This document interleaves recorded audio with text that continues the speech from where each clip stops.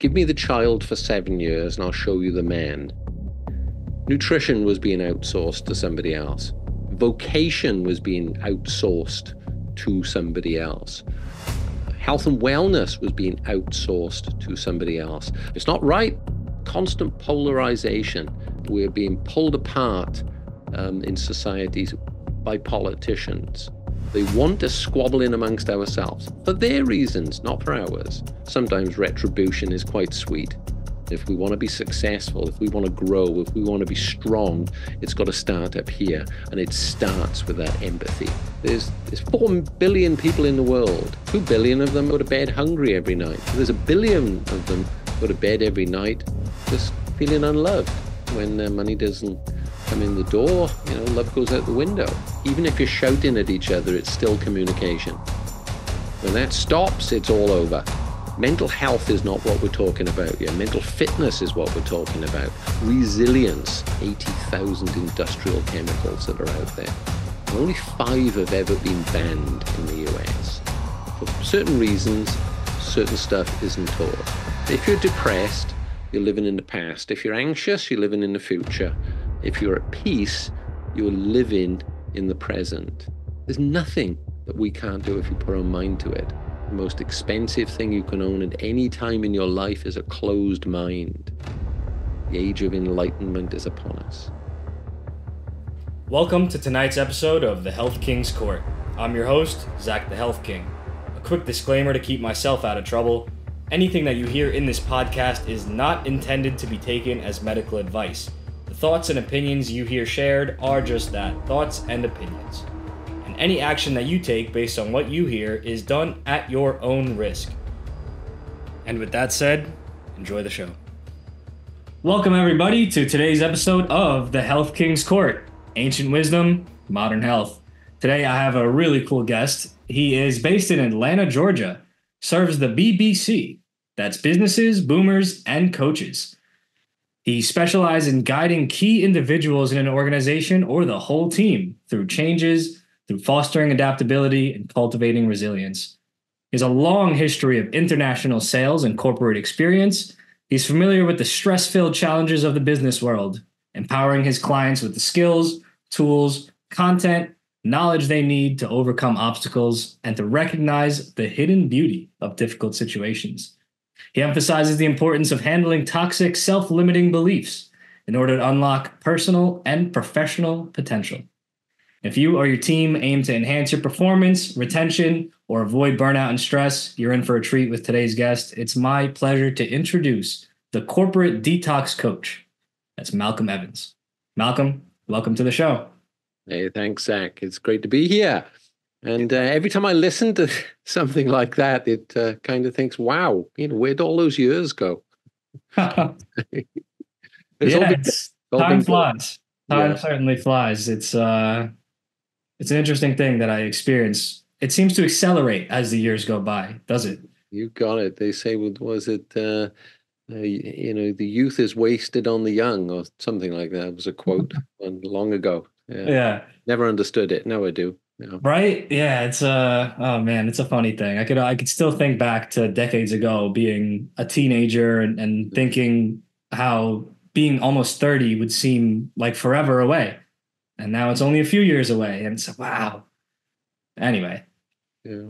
Without you know belaboring this point too much, you know, uh, years ago when I was in high school, I remember sitting in a math class, and I I I, I didn't do all that well in math. You know, it's uh, just strange because I went into electrical power, and you know, um, three three of us, my friend and uh, two of my friends and myself, sitting and talking and saying, "Wow, in the year 2000, we'll be like 40 something. That is incredible. Well, where did that that blew through? You know, with the Y2K, you know, the every computer's going to collapse and wherever, and uh, yeah, it didn't. Anyway, sorry, I just uh, unload that from my mind and blew it a bit. No, no worries, no worries. So we got plenty to talk about. You know, we've had some chats already. Uh, you are a very diverse individual with a lot of areas of interest, but as we discussed, we have a couple things that we wanted to cover, and all of them have to do with wellness, whether that's mental, physical, in relation to relations. Um, So something we could begin with that you've mentioned is talking about toxicity. Mm. And you mentioned that there's a certain cycle that toxicity goes through. Do you want to expand on what that is or, or what you mean by that? Yeah, sure. And and I've got to say that you know, look, I've had like seven, eight different careers, disparate ones that I can draw a ring around, and I've been pretty good at all of them. One thing I've, that I've never been is a doctor. Okay, so anything I, I am not giving medical advice. This is stuff that uh, um, I've adapted and learned over the years, and uh, um, I used to belong to a service organization whose motto was adapt, adopt, and uh, or sorry, uh, adopt, adapt, and improve.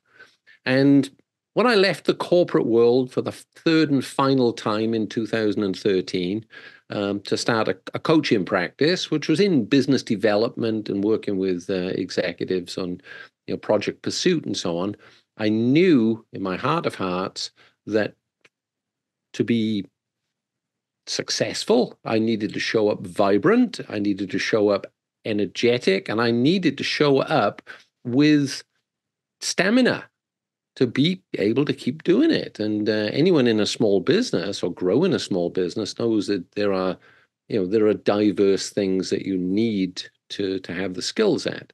So I wasn't worried about the skills part, but it was it was the stress that was starting to come. So this was a, an area that I got very sort of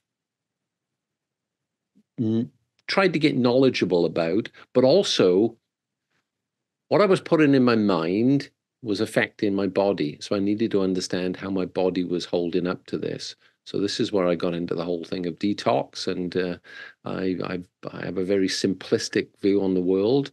Um, how can the good stuff get in if the bad stuff is inhibiting it? So equally in in thoughts uh, and performance, then in body, and then this was all manifesting in in results and relationship. Yeah, certainly. There's no doubt that input equals output. Mm-hmm. And input doesn't necessarily come right out, though. It sometimes builds up and can stick around, and especially that negative stuff, yeah. whether it is the physical side of things or the mental side of things. The real negative things that get built up, they they get real sticky and they can be real hard to get rid of and replace with good stuff. Mm. Um, and so you said how what you put into the mind affects the body. Yeah. Does it go the other way as well? Um, absolutely. And you know, um, I I don't think this is too original. You know, I use a triangle. I call it the uh, the toxic triangle. And if you imagine at the base of the triangle, there are relationships. On the one side, there there are um, bodily wellness, and on the other side, there are you know, mindful wellness, you know, mental fitness, and um, an equal-sided triangle is probably one of the, the strongest shapes that, that we know of. Now, if you imagine one of those sides being a little bit weaker than the others, it's going to put strain on itself because the others are, you know, nothing's balanced anymore. There, there's there's a, a chink in the armor. So, with that simple philosophy, um, I really felt that uh, um, I needed to learn how to balance these things. And certainly over the years, I've think I've seen things that uh, my my individual wellness. I, I, used to be an athlete when I was younger, an endurance athlete, and full contact sports and things like that. I can say now, um, later in life, I'm in as good physical condition as I was then. I don't run ultra marathons anymore, but hey, there's still one in you know, mentally in me. Then I come into the you know, the the the mental fitness side of it, and I would boil that down to resilience. And resilience that uh, over the years I, have lived in a, a, multitude of countries. Um, I've had lots of different jobs. Uh, I've been through many, many stressful situations, and I've always seemed to come out of it and having a uh, and almost a, an inherent safe pair of hands approach. Look, you know, if I panic, things are going to get worse. They'll go out of control. Stay composed, manage things in front of me, not imagine what could be happening, just just uh, just respond to what's occurring. And then you know the the pressures of uh, of marriage, children, relationships, you know, growing a young family, trying to balance work and and these things. And uh, often I talk to people about the, the, the work life balance, you know, having a gray zone, not bringing work into the house directly and not taking you know, any sort of family concerns or troubles at home to work. No, th- these things are difficult. So this is where the the gray zone sort of uh, um, recommendation would come. And you know, I only recommend stuff that I've uh, I've done for myself. Yeah, absolutely. So you're speaking from experience and and someone that's conscious of what's going on in their life and then conscious of what they're getting out of life is going to develop over time some ideas of what works and what doesn't. And, and so we're bouncing around a little bit between mind, body, work, home. Let, let's let's let's dig deep. Let's okay. dig deep. Let's uh yeah. let's Break let's start with the triangle, right? Yeah. The first one that you mentioned in the triangle is the mind. So people's mental health. And that's a whole rabbit hole that we could get into. But let's start with what do you think is going on in the average person's mind? Is the average person healthy in the mind? Are they not? And why or why not, do you think? All right. Well, um, if we go back long ago, far away, Aristotle, I think it was, uh, said that um, Give me the child for seven years and I'll show you the man. The Jesuit priests regurgitated this, you know, in the you know, like 15th, 16th century or wherever. And what what I believe that they were talking about is that um, as we, everybody's, let's assume everybody's born with very, very similar um, skills to cope um, in the environment that's around them, but they adapt to what's happening. And so um, eh, very much akin to like having a deck of cards.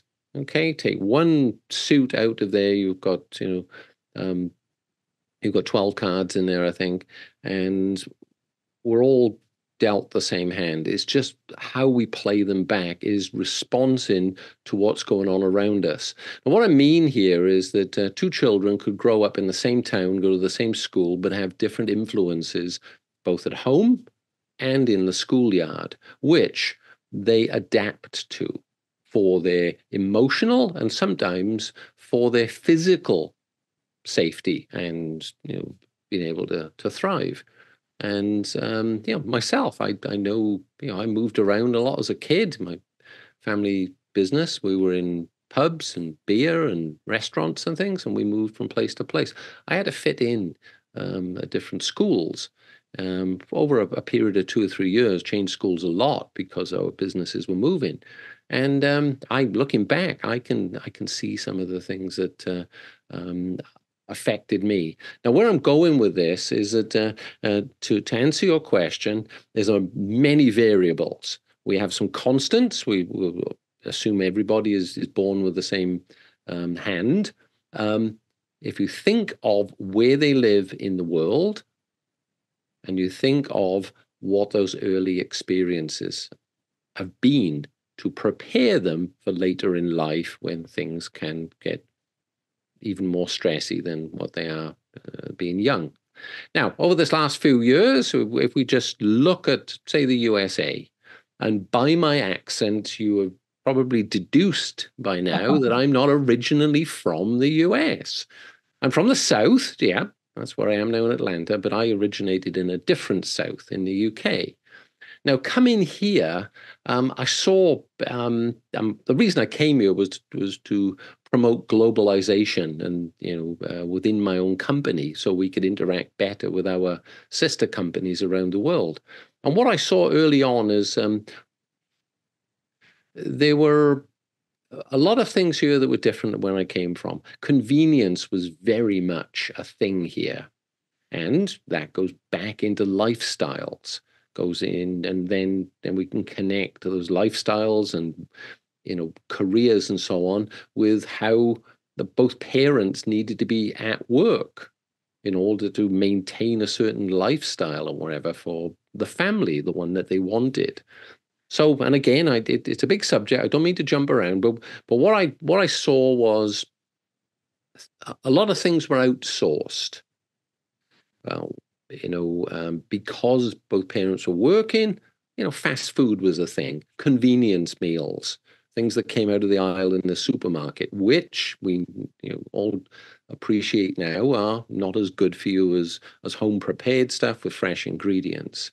Then we had um, the the the work environment. The work environment is pretty much everybody at a job, even though there are there are a lot of uh, uh, small businesses, self employed people, the majority work for other people, either in a factory or in, a, in an office. And with the expansion and contraction of economies, well, a lot of people lost their jobs, especially in 2008, 2012, and over this last years in the in the 20s. Then we bring this in, into health and wellness. Well, the philosophy, you know, because of the amount of marketing and because the amount of um, sort of cultural approaches to to health and wellness here, if there's something not right, there's a pill for that. There's a drug for that. Let me go to the doctor, and again, somebody is outsourcing their um, health and wellness. If it's not right, doctor will give me a pill, and that'll mask it and make it better. So what I saw was um, first, you know, Nutrition was being outsourced to somebody else. Vocation was being outsourced to somebody else. Health and wellness was being outsourced to somebody else. And then you add on all of the pressures of things like the, the need and necessity to have a college degree. So, how many people are, are, carrying an awful lot of uh, um, student loans around them, non forgivable loans? that is a stress that that that follows anyone into their 40s 50s even I, I know people that are in their 60s are still, still trying to pay college debt off so all of these things add up to different times than than parents and earlier generations have been through. Maybe the baby boomers didn't have it so so tough, tough, or the tail end of them they did. You know that that's a little bit subjective, but so where you grow up and the timing that you grow up. Now, and I define all of this is, is down in to be able to, to cope and navigate with a clear mind and conviction the building blocks of what I, what I would say is resilience. And resilience, these are learned habits that come from previous experiences, whether it's been in the schoolyard, whether it's been stuff that's been, you know, um, built and learned from competitive sports or in the career? So again, so as a big answer, but uh, it, that that one word, resilience, and the fear of the unknown. Yeah, yeah. There's a lot that we could lot that we could unpack there. A couple of points that I'll avoid digging into because I know you don't want to get too political. But um, let's take it back to even the beginning, right? Because you said you touched upon the kind of the nature versus the nurture debate. Mm. Do you think everyone is born with the same basis point, the same deck of cards? Let's say even two people, same location, same place they're born, same social class, same family, even at the same time. You think inherently everyone is playing with the same card to begin with? Or are those, is there a baseline kind of difference to begin with? in um, levels of intelligence, levels of resilience, levels of individuality? Um, I think you know these things are you know the uh, a lot of it can be genetic, handed down. You know, um, Malcolm Gladwell has a, a good book. I think it's called Outliers. Yeah it's subjective whether it's a good book or not. It's a book. I read it and it, it it's memorable or whatever. And he talks there about the Canadian uh, Hockey League how an awful lot of the players predominantly are all born in like August or September. So what has happened there is that um, if you imagine in a grade in in school, um, the ones born earlier in the in the school year, um, especially you know uh, um, young males in you know moving into adolescence or wherever, they have growth spurts. Well, depends where you are in in that sort of being born in that year. Your growth spurt might be you know faster or quicker. You may be bigger than other kids in in your um, that you're competing with for positions on sports teams. And what he said is those because those guys were born earlier in the school year, they had a physical advantage. And I saw this uh, uh, in a different way in 2008 when my son graduated from college, where economies were, were, were shaken and companies, you know, they had a choice to make. What do they do? Do they take on a new graduate who may be with them for a couple of years, learn stuff, and want to move on? Or do they take somebody that is older, has responsibilities, you know, he's got a mortgage, got kids in school, and you know, it's he's, got these pressures on him. Is he going to stay longer, and can they work him harder? So, you know, yes, um, everybody starts off, I believe, in the same way. Okay, there are influences, obviously genetics and stuff, physical things, or wherever they're going to set us apart, but also how the influences of growing up and what's around them starts to shape them. Um, the family they grow up? Are the, are the parents, these helicopter parents, overbearing, you know, living, trying to live vicariously through the children because they feel they missed something, you know, out of their own sort of, um, you know, growing up. Whether it's in, you know, whether it's ego or esteem, whether it's just just absolute love, they want their kids to do well. They want them to be that next tennis superstar or that hockey player. So the parents may be pushing them, and the kids are just, well, hey, I need to adapt according to this. And they may develop certain character traits where they are, you know, more competitive than they may have been if they hadn't had the influences and pushing and pressure from the parents. Interesting. And so yourself, you seem like a very intelligent, clearly very well spoken and successful man. What were some of those factors that influenced you to become who you are today? What What do you think were some of those environmental things growing up at that pivotal time that shaped you either in a positive way and, gave you those advantages, or perhaps presented you challenges that you had to overcome? If you'd like to share. Yeah, well, of, of course, you know, and um, we're equally cursed and blessed. We're going to get the good, we're going to get the bad as we grow. And, you know, my my parents um, uh, i was born you know um, um, very close to the start of the 60s and you know both my parents worked um, they had jobs. I was i was what was called a latchkey kid. I came home there was a key hanging on a piece of string you know put your hand through the the the mailbox. We had a we didn't have a box outside in the uk we you know the mail was delivered through the front door and there was a key hanging there. So I'd come home from school, and and the school was only you know maybe a quarter of a mile away up the lane or wherever, so they, that wasn't too much uh, of an issue. And maybe in you know a, an hour or so, I had to wait for my my sister to come home. Well, or you know I should have stayed in the house, but the kids around. Hey, we're all out playing. We're all in the same situation. We you know maybe go running off or wherever. Um, that gave me a, a, a, bit of you know resilience and you know I could spread my wings or wherever. And as I grew and we um, we um, moved into me being nine, ten years of age, we we start to move from you know the town I was born in into other places, and I'm talking like thirty miles away. But I'm talking culture shifts. People speaking English, but not in the same way as I I knew English. Heavy accents different social demographics, maybe more industrial towns.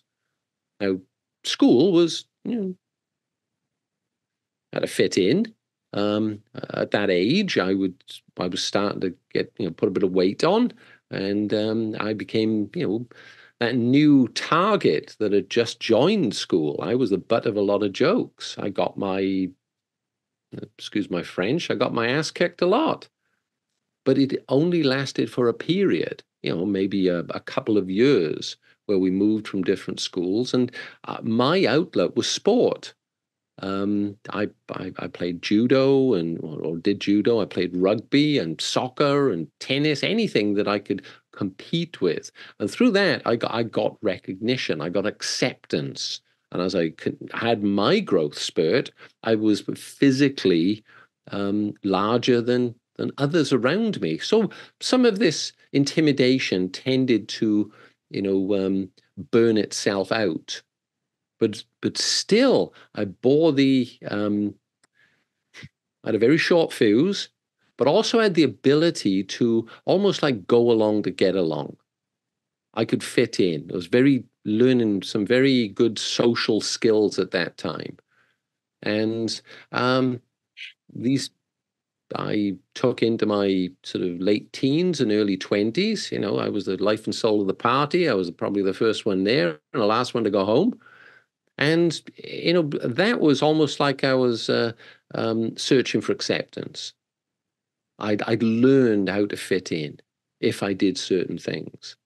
I like that. I like that because it's very exemplary of my philosophy on what makes a man a man or what makes a young man into a, a full grown man. Those ass kickings sound like they were exactly what you needed. It sounds like they encourage you to rise to the occasion because you didn't want to get those ass kickings anymore. You wanted to prove yourself. So you got yourself up, got yourself together, developed skills that got you the recognition and earned your way into respect. Would you say that's accurate? Absolutely. And, and, and learning from you know situational things or whatever. And of course, then you know as you you grow older and maybe you get your your collar pulled by a policeman or whatever, and you you you what we would call it in Britain the short sharp shock. you do not want to take that news home to your parents because you know the. Uh, I'm not saying the ass kicking would continue there, but certainly you'd be grounded for a while or wherever. Um, so you know, learning these habits of, uh, of, of socializing, you know, being able to fit in or whatever. Um, and but my home life was it was great. My parents were very supportive of everything. Try this, go do that. I tried every blooming sport, joined every club or whatever, till I found what worked for me. And as I said, that that outlet, that what worked for me was was was sport. You know, I was a I was a, was competitive. I was pretty good in school, but didn't have the interest really. You know, I was getting more stimulation out, you know, from, you know, competing and being being recognized for being on like the, the the, school team, the the regional team, you know, the the the state team, and so on, and those things. But um, you know, um, some of the you know the habits that I picked up of you know the socialization stuff, and later on we get in, in life, you know, experiment with uh, uh, with alcohol, never anything else or like that. But you know, I can. We get presented with um, forks in the road where we need to make a decision. So you know, some of the stuff that we've learned earlier in life influence us when we meet those forks in the road. So you know, in retrospect, looking back I now can see why I took the the road to the left as opposed to the road to the the right, which may have been better, was you know uh, because of my earlier experiences, and just you, you learn habits, you learn how to think and react, you know, situationally. But the good news is this stuff can be unlearned. You know, you know, old dogs can learn new tricks We've we've got a uh, we we're blessed with just a you know a, a fantastic being that we're you know um, I would say we don't buy it we rent it you know we've had it for so many years and um, but one thing we've got is is our ability to adapt to the things around us and you know you know our, our our, if we do things long enough, our the our brains pick that up and learn. You know, there's patterns, neuroplasty kicks in, and, and so on. I don't want to get too technical or whatever, but yes, you know, we can learn. We can learn habits, and a lot of those behaviors are learned and influenced. You know, uh, a result of the influences that we have as we're growing.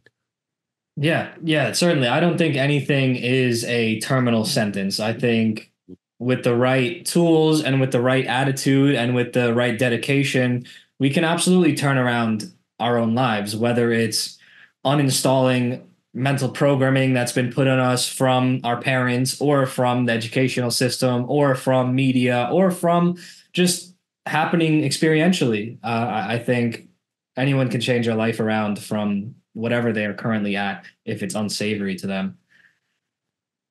Just one more question on, on this side of things, and we'll move on to another topic. Uh, mm-hmm. So you mentioned how things were when you grew up, and that's a different time than when I grew up, and that's a different time than what people that are growing up now are facing. Yeah. Do you think it's become more difficult or more easy or easier for someone growing up in these times to grow up with a healthy mind? Mm.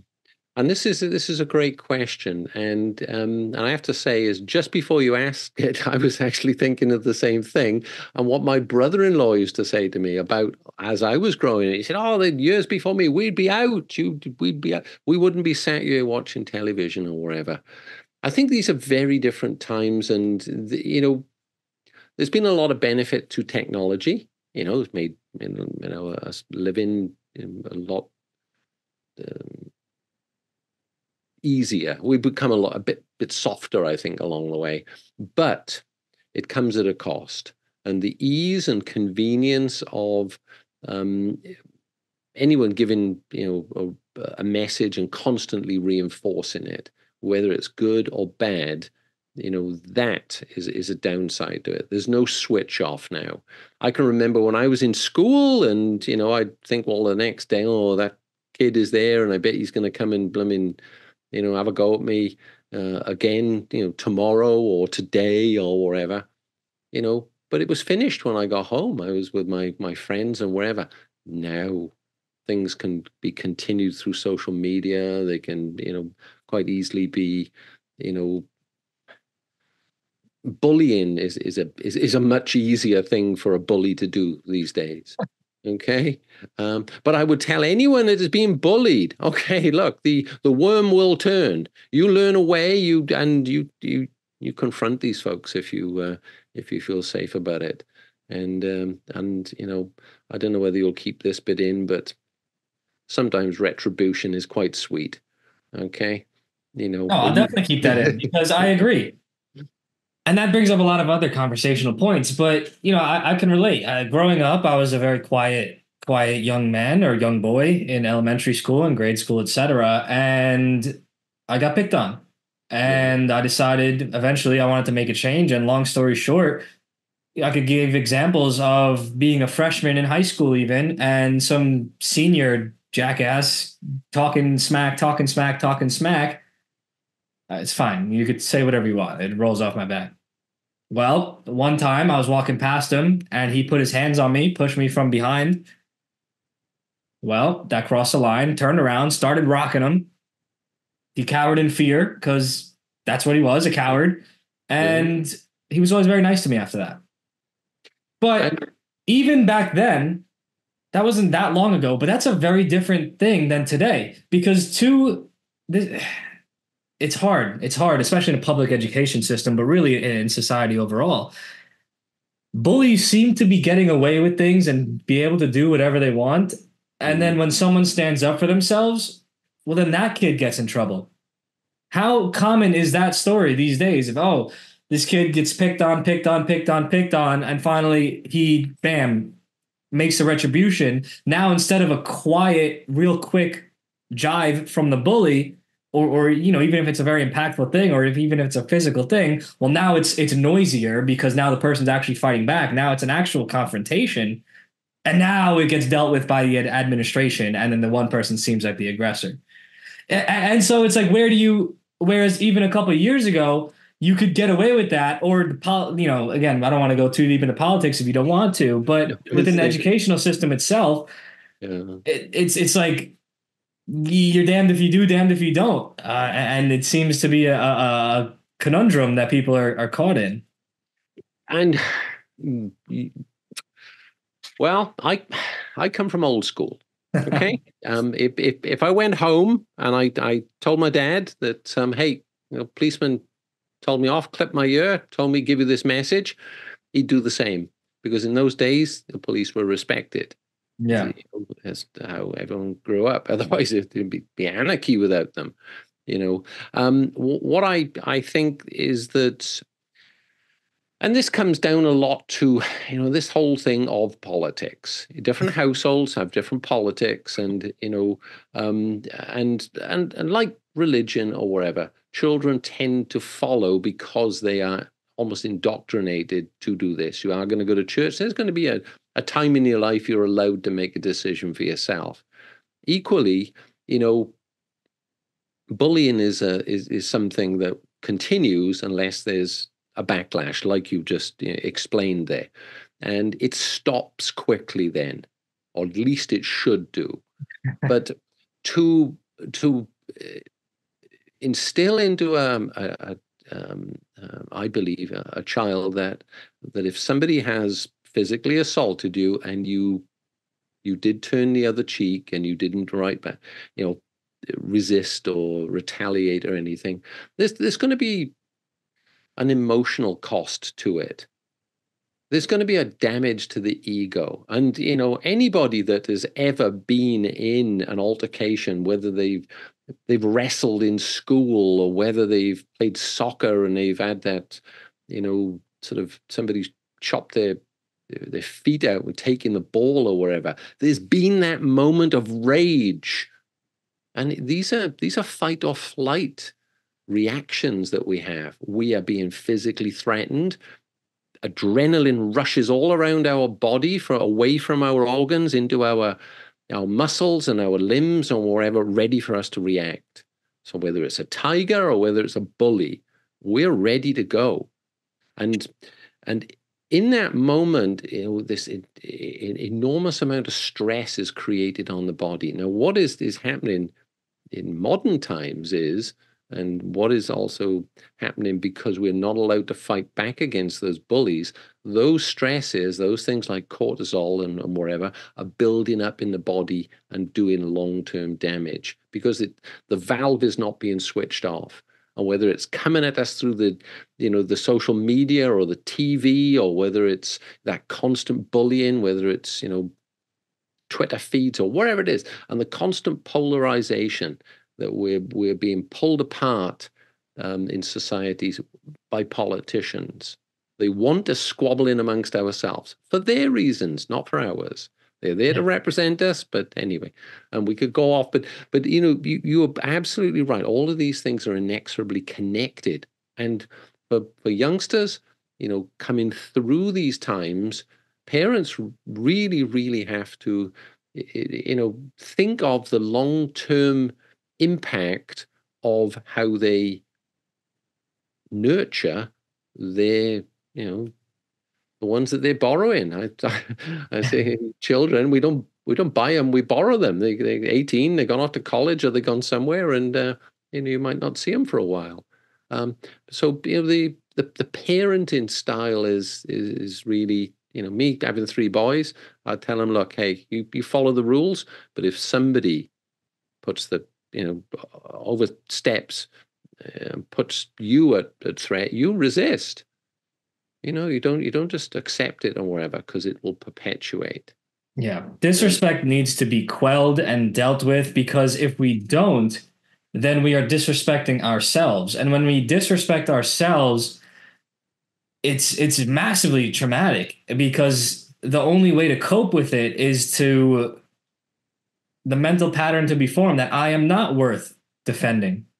I am not worth sticking up for. I cannot do anything. And then this learned helplessness comes on where someone just gets mentally beat into submission and they just become almost not human anymore because they don't even have a self identity that they care about. And then that extrapolates on to impact their everyday existence and everything they do for the rest of their life because then they'll never advocate for themselves against anything, whether that is some sort of crazy policy, whether that is some sort of confrontation with criminal, with the law, with whatever, with their boss. You know, it, it creates a just a, a a drone really of someone kind of going through the motions of life because they don't even care to stick up for themselves. It's a it's a huge it's a huge impact that what yeah, we just touched upon. And, and you you you're nailing it there. And um, you know, later in life, as I, you know, I've moved around, been in different countries and so on, and uh, I can say that moving to this country as like it was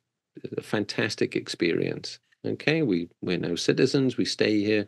I always wanted uh, experiences for my my my boys, just my my wife, myself, and wherever. So we get variety, but they get exposure to new things and new people and different cultures and so on. Um, but I found that the um, you know working under a, a visa and obviously having a home and everything like that, and income and disruption of because uh, I, I I felt the effect of some of the disruption in my um, education where we'd moved around a little bit. I lost continuity of you know coursework and, and things like this, and it was it was hard to catch up. Um, where I'm going with this is um, having a work visa and then having constant pressure at work. I was becoming, as I would describe it, um, almost like a passive aggressive. I was internalizing things, and I was bringing some of this stuff home. I was arguing, and that wasn't good at the home life. And guess what? You you something's not right, you don't sleep well, you go back to work tired the next day, and you do a little bit on edge and whatever, wonder what's coming, constant pressure, go back home or you know, argument, have another drink or whatever, blah blah. And these these things start to you know uh, create the the toxic triangle, the cycle of of, of persistent sort of stress. Now, you know, someone sent me a, a book at, at, one time and it was called uh, Don't Sweat the Small Stuff. And it was all small stuff. And I, eh, okay, I did it the respect that, you know, somebody cared enough to send it to me. And this was a colleague. And I got half the way through it. And I'd, each page that I'd been skipping, I was thinking, I know this and this and this. I got to a certain point is, yeah, I know all this and I used to do it I'm not doing it now. And I put the book down, and from there going forward, my demeanor changed. You know, longer was I going to be allowed to be bullied at work, and this is you know dealing with with grown-ups, but you know the politics that exist in corporations. And I had a pretty senior role, but you know I had uh, others had different axes to grind and wherever, and uh, were putting pressures on. All of this passed. All of this passed, and I began to thrive, and I became a um, uh, got my green card, got my citizenship, and everything, and it was yeah, like hey, what's the worst thing that can happen? like they they let me go, I'll go and get another job somewhere else. Uh, but, but then that that almost like that veil of insecurity lifted. Once you shift that mindset, what's the worst thing can happen? And you're mentally attuned and prepared and you know you can go any direction with that and that was the resilience coming back yeah that's huge everything in life is figure outable you can figure it out whether mm-hmm. it this happened that happened whatever as long as you don't haven't broken rule number one which is don't die then yeah. you can move forward in some sort of way that's you a know? biggie don't die you know? Yeah, yeah, definitely words to live by. Yeah. um, but one one thing that I I, I, I want just uh, have another bite at that is yeah. is the individual should not unlove themselves, think anything less of themselves. It's not them. We all have to uh, um, adapt to our surroundings at some time in life, giving ourselves empathy, giving ourselves the the love that we deserve, nurturing ourselves treating ourselves first. It is not selfish.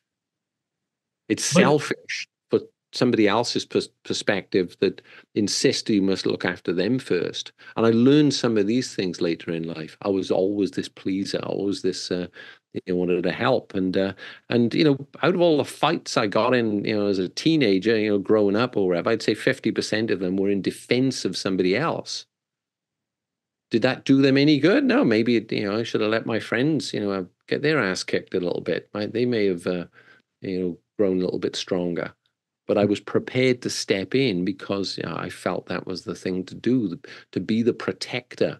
Maybe that was part of me going, uh, you know, fitting in and going along to get along wherever. Yeah. And in that, I don't think I loved myself as much You know, growing up in a small village, you don't brag, you don't do these things, you just take it. Otherwise, it's going to attract attention.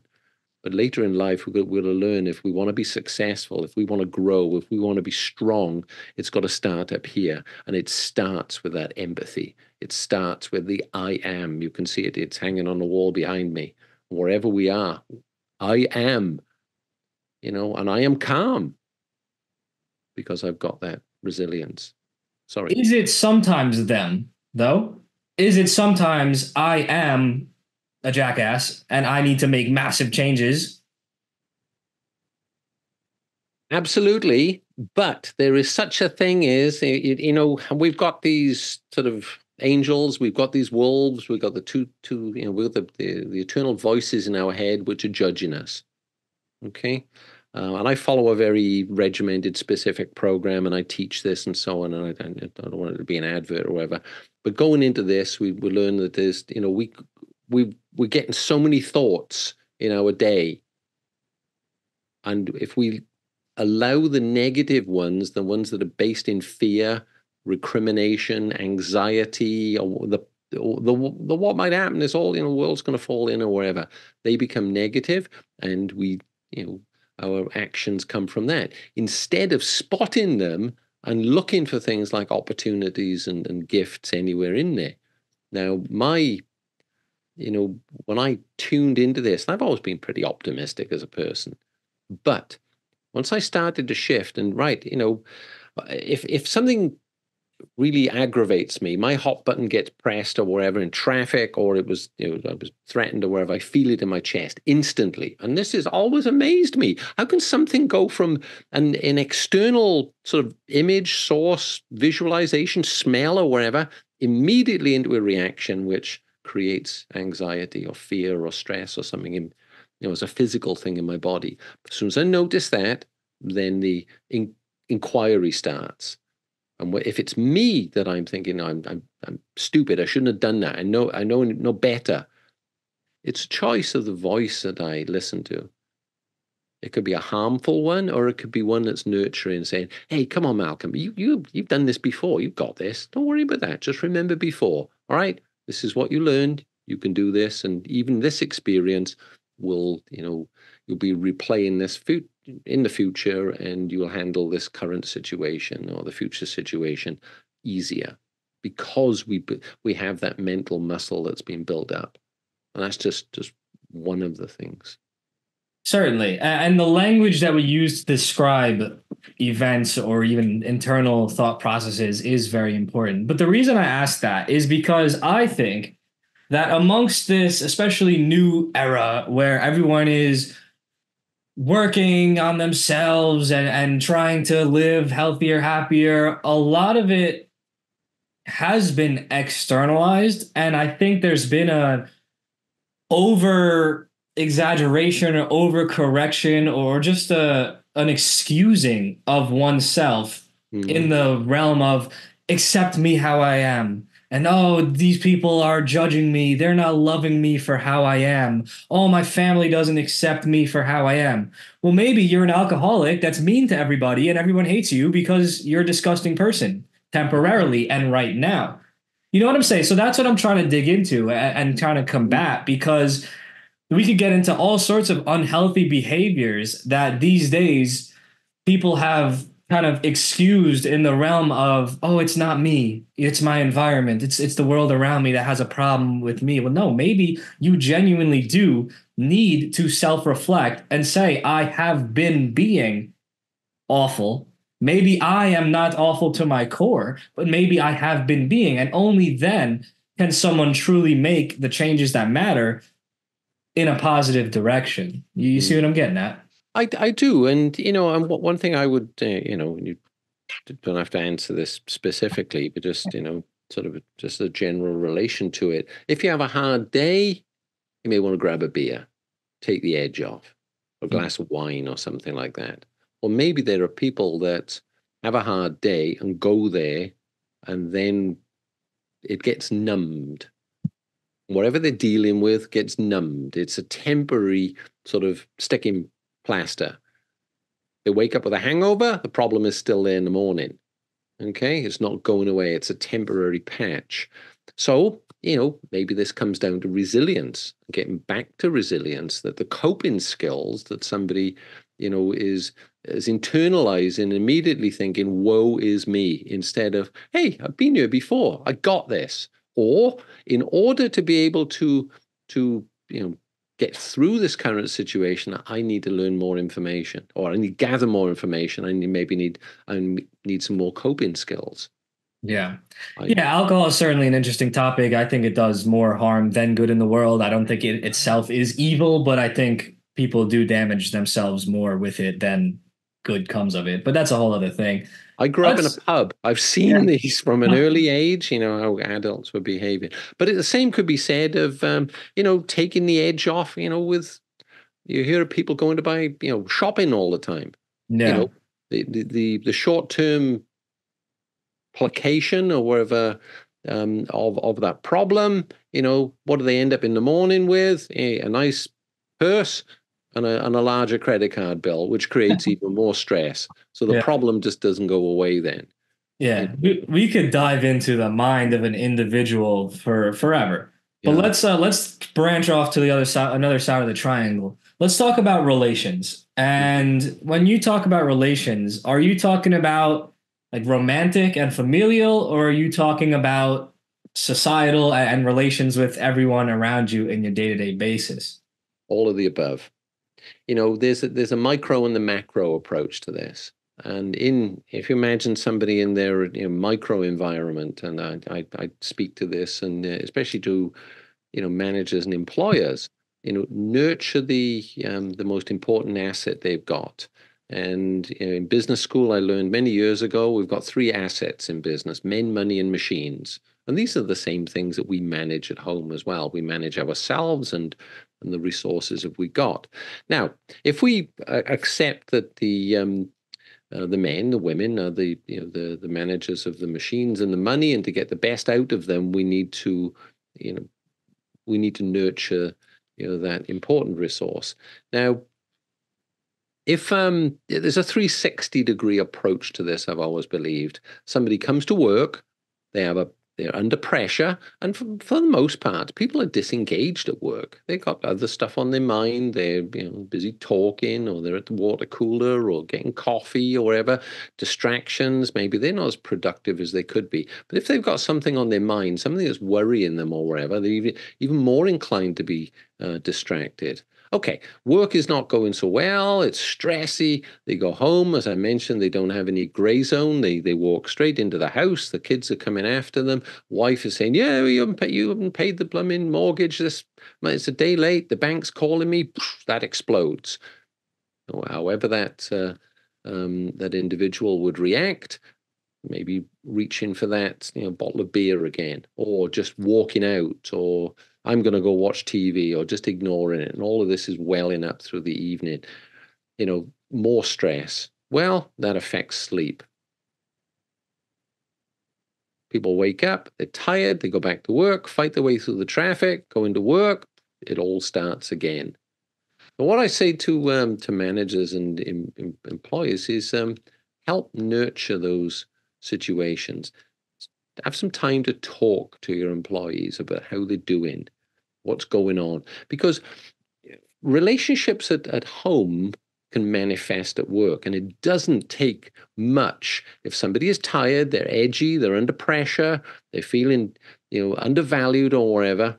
And someone told me this many many years ago and at this time the numbers they used they said look there's you know um, there's there's 4 billion people in the world Two billion of them are, are go to bed hungry every night. There's a billion of them go to go to bed every night just feeling unloved. You know, what can we cure? What are the easier things that we can we can manage? So those those individuals in their their relationships, and especially the way things are at uh, in society and you know in particular at work, all it needs is the wrong word said in the wrong way, or the right word says in the wrong said in the wrong way to be misconstrued human resources are called or wherever they are you know you know HR department or whatever, and it can escalate very quickly and create all sorts of problems. People get just get fired and let go, and that compounds what's going on in the other relationships in their life. So that's where I believe that it, comes to the uh, understanding the the individual, what they are getting out of life, you know, and and yeah, I, I bet you know people that uh, that say, "As I am fed up with my job," you know, I just, I wish I could go do something else. And this, but they're still they go in, they're spending, you know, eight, ten hours a day fighting their way to work and then being in work, whereas they, you know, they would maybe want to be somewhere else, being a carpenter or an artist or a poet or a piano player or something. Yeah. Yeah, I try not to hang around those people. They're usually not happy to be around. But you mentioned relationships at home. What do you think is the state of the average relationship at home and why? Um, I, I think it's it's under stress, um, and it, it, it's under stress for many different things, many different reasons. You know, we go back to the old basics. You know, it's it's, it's money. You know, somebody told me, you know, one time when uh, money doesn't come in the door, you know, love goes out the window. Absolutely true, and it takes a very strong relationship to be able to um, to navigate some of these stresses, some of these worries. You know, um, I always always joke that um, uh, I, I, married my high school sweetheart. We we we left, you know, the UK. You know, we were were 24, and um, we went to a place where we didn't have a relative on the continent. Running home to mum wasn't uh, an option. So we worked through it. And here we are, 40 odd years later. We still have our moments, but we work our way through it. And a big part of it is communication. And, you know, this, this would go back to the, the workplace as well. Um, eh, agreements over intentions expecting somebody to behave in in the way that you want them instead of you know talking it through. One very valuable um, tool i say for anybody that is going through any kind of relationship thing is to is to sit and talk. And to repeat back what the, you know look something isn't quite right you know I, I want you to tell me what it is.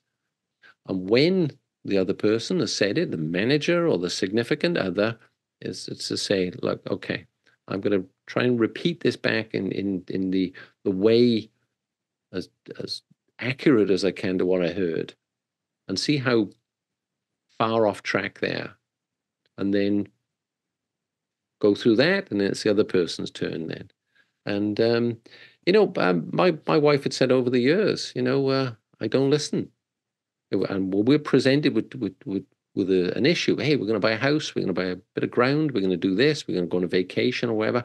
Um, my wife might say, "Nah, that doesn't feel good." I would say, "No, no, you're just worried about it and whatever. Let me get a spreadsheet out. I'll prove to you that it's sound and whatever." And she said, "You may be able to do that, but you're not hearing me."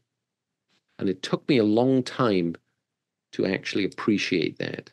But once I did, and I started listening, because I'm you know, I'm I'll get stuff done. You know, I'll I'm I'm a bull in a china shop. I'll go ahead. And she's a little bit more sort of strategic and contemplative, mm-hmm. a bit more, you know, uh, a softer pitch and pace and wherever. We're, and you know, we we've held it together all over the years. So there must be something that uh, um, that works there. And I would say it in later in life, it's come down to the communication. I know anyone that's listening that's ever been a you know an empty nester, you know, the question all of my empty nester friends ask of their their significant other, okay, kids are gone, what now? Why did we get married? Do we still love each other? And if the answer is yes, they'll make it work. If there's any doubt, then they need to talk about it there. Because that whole, you know, divorce stuff, dang, if you want thinking about something's expensive and you want to finance it, get one of those. Yeah, they stay with you for a long time, and and it's never. It's tragic to see a you know a marriage breakdown. You know that's uh, that hurts me. Yeah, um, communication certainly is key. And those conversations seem like a simple and obvious thing, but I mm. think most people aren't equipped with the capacity or knowledge of how to even have those simple conversations of, hey, what are you looking to get out of this relationship? What am I looking to get out of this relationship? Do they align? Are they the same thing? How can we be on the same page? Mm-hmm. It's a lot easier said than done, especially because people aren't taught how to have those conversations. In fact, they're usually taught the opposite and the contrary through media eh, and the television shows and the examples of relationships that are shown there through most likely their own parents who may have unhealthy relationship patterns that they've absorbed people are not equipped necessarily by what's going on around them to at all be able to have those communication modalities. And then when they experience it, say they enter a, an arrangement with a partner that does know how to do those things, it feels so foreign to them that they can often even get suspicious of it or shut down entirely. It's yeah. uh, it's a lot easier said than done. But I think a a conscious partner or you know two conscious partners can can find their way through that, but it, it requires a lot of work. It, yeah. Requires, and if you think that all the way through the educational system, they hardly teach, you know, uh, kids about finances. Do they talk them? Do they help them with with communication?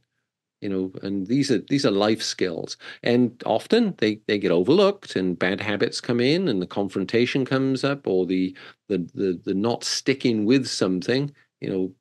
And you know i read a couple of years ago that yeah one good bit of news divorces were down. But then if you look at you know what's driving them you know the freakonomics is hey marriages were down it's yeah. just a, you know, it's just a symptom. But the uh, I I would say to to to anyone get counseling, work with a coach. Okay, and in in this this day and age, you know, wherever we went through all of the you know the last few years, people working at home, people that are single, you know, the uh, the office or wherever was their social um, support. They, they thought they had friends there and they would share and so on like that. And they were plucked out of that. they were in isolation. And then the whole mind game start then. I'm inadequate. I can't do this. I wonder what that person's saying about me. I'm at threat. I'm going to lose my job, blah, blah, blah. Um, if anyone's going through these things, you know, this this whole thing of mental health is not what we're talking about here. Mental fitness is what we're talking about. Resilience, adaptability, change is a constant. And if if the the pitch and pace of my my voice has gone up, I get very excited about this. You know, understanding how to solve problems with a clear head. Yeah. One more top one more question on that topic before we branch off. Yeah. So in your opinion or in your experience, because I'm sure you have ample of both, what do you think is the role of a man and the role of a woman for them to bring to a long-term relationship or marriage for it to be successful? Is it the same? Are there certain unique things that both sides need to bring?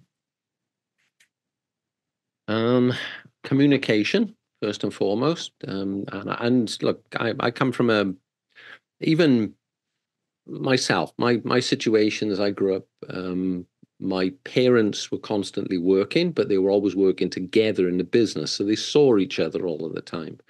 Um, I said to my wife from a, an early age, um, as we started to have children, I said, Look, I'm going to go off and start my business.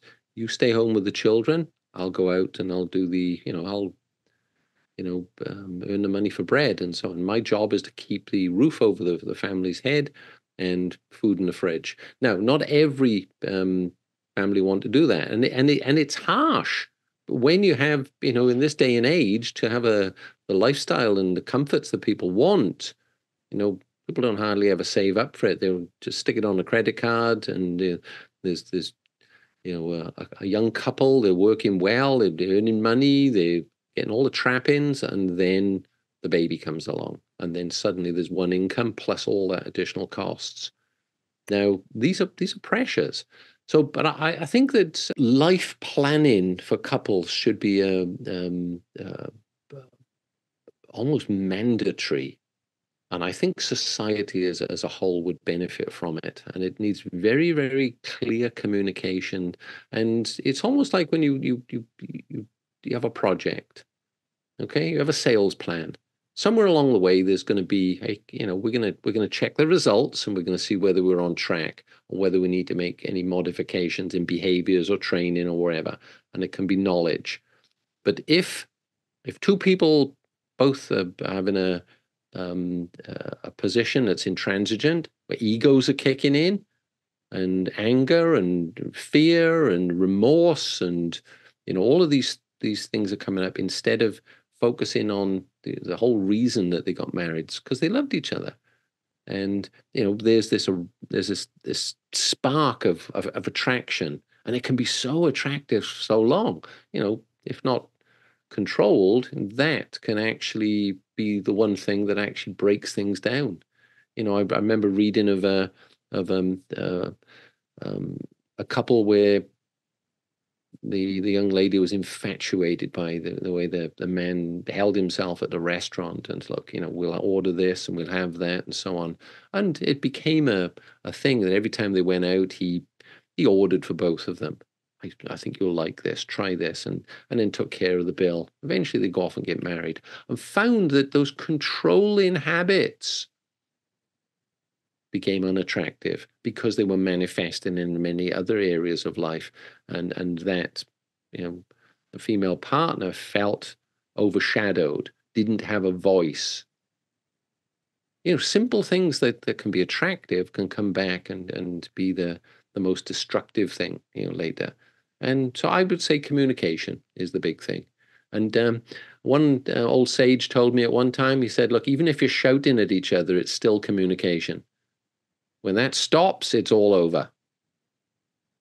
Do you think between a man and a woman there needs to be a clear leader of the unit and the household? Or do you subscribe to the concept of a 50 50, 100% equal arrangement? Um, I think that comes down to what the individual is comfortable with. Um, I, you know, in retrospect, I would say more of a 50 50. You know, each, you know, uh, shared chores you know, um, my wife chases me out of the kitchen. She doesn't want me in there. You know, but even though I want to be helping because I I like cooking and I want to help her, I don't want to do and going through all of this stuff. And so we're very much a home cook thing, and you know, um, it's it it it can create some arguments. So I've I've learned to to stay out. Okay, I'll give her what she wants. I'll stay out of the kitchen. Mm-hmm. You know, and uh, you know, and and that's just a sort of a you know tongue in cheek sort of extreme thing there, wherever. But it comes to agreement, you know, um, rather you know agreements rather than sort of expectations. Early on. Let's get the contract in place and, and tape it on the fridge. Okay. Yeah. Clarity and, and, communication, whatever that means for yeah. the two people. Cool. Yeah. So without going a little further into the relationships, just wanted to pick your brain a little bit there. Um, let's get to the last side of that triangle. And that's well, the body. When we've kind of touched upon it, of course, because it's related to the other two. But what's going on with people's bodies? What's the state of health there? Why is it good? Why is it bad? And really, what can we do about it? Well, you know, it's in a state, okay, and it's and and it it comes back to external influences. You know, you mentioned about earlier of um, you know growing up in these times. You know, social media, TV. You know, TikTok, Twitter. Obviously, I get in trouble for saying those names or whatever like that. But they were things we never had to contend with. You know, when I was growing up, and maybe you and your parents and the parents before them, and um, when we consider what is going on in the environment nowadays, uh, we've covered the relationship stuff. We've covered the, you know, um, you know the the the stress and mental fitness and adaptability and resilience and things like that. And we think of the, the body that we have. If we go back to like the 15th century, pretty much we could, you know, we didn't have to worry about things apart from the plague and all of those things. But there weren't environmental toxins around. There weren't diesel fumes everywhere. We didn't have to worry about mercury um, you know, um, leaching out into the water because, you know, coal-fired power plants of, of years gone by where the rain has dropped, uh, you know, uh, um, traces of mercury into the uh, into the drinking water, which has permeated down through the ground soil and got up into the crops, even the organic ones we've got. Now these are extreme things, but the point I want to make is that uh, you know we can absorb most things we can absorb mental pressures. We can absorb you know pressures in relationships. We can absorb pressures in the things that come into our body. But in every one of these three sides of the triangle there's a tipping point.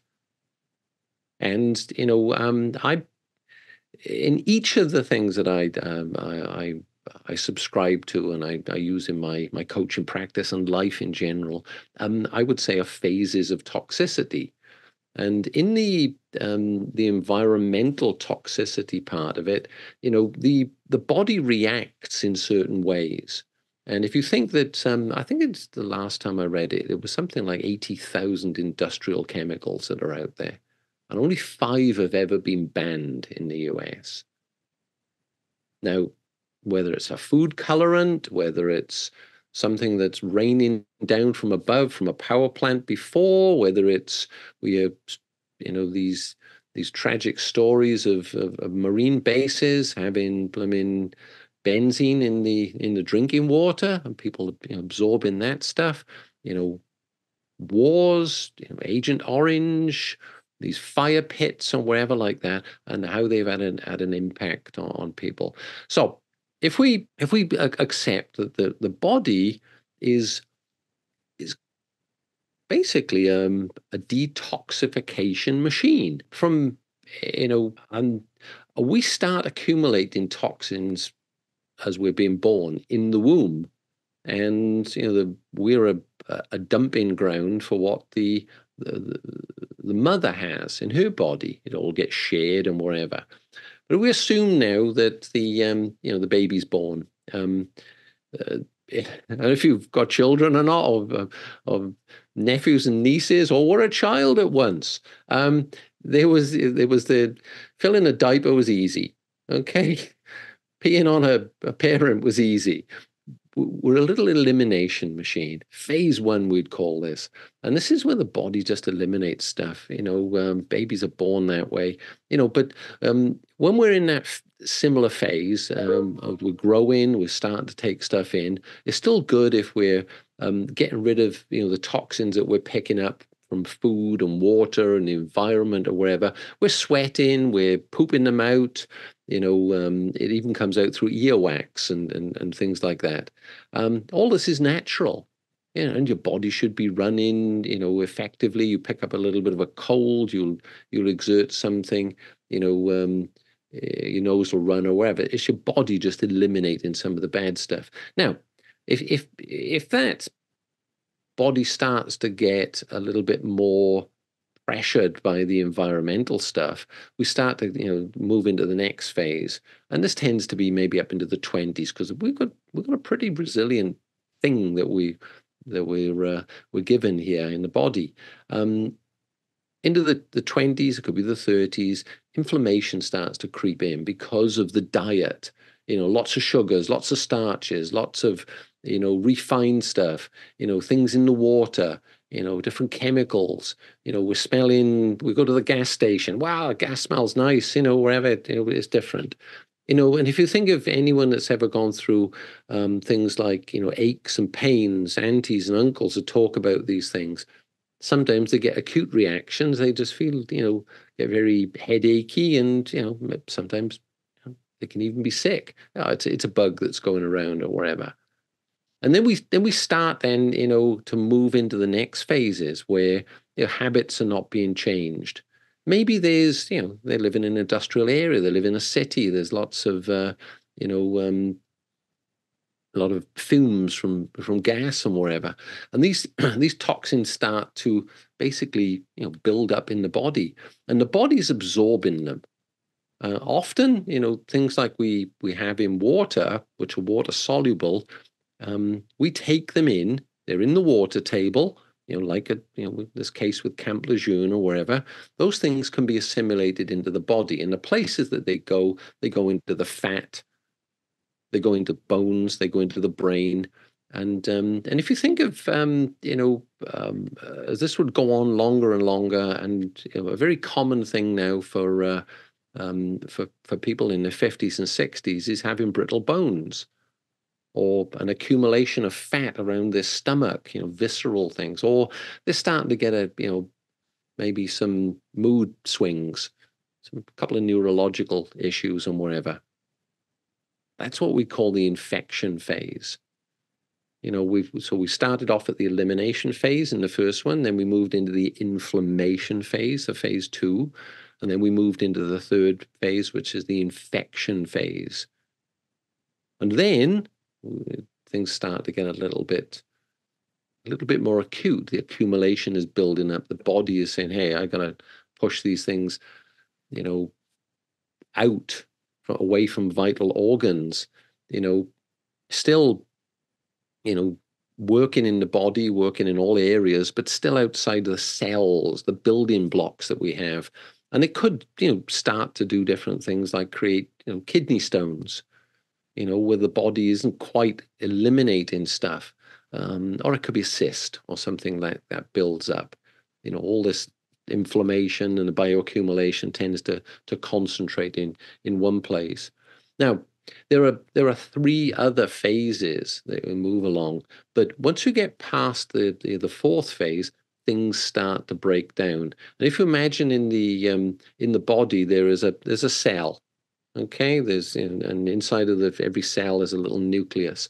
Now, if the, the outer shell of that cell starts to get attacked with oxidative stress through, you know, bad, you know, processed foods and having lots of sugars and, you know, outside influences or whatever, as soon as a little chink in the outer um, shell of that uh, that cell occurs, and these toxins are floating around in the body, and the, the fat is full, and the bones are full, and whatever like that, it'll start to penetrate down through the cells. And once it gets on the inside of there into the nucleus, it can start to affect that.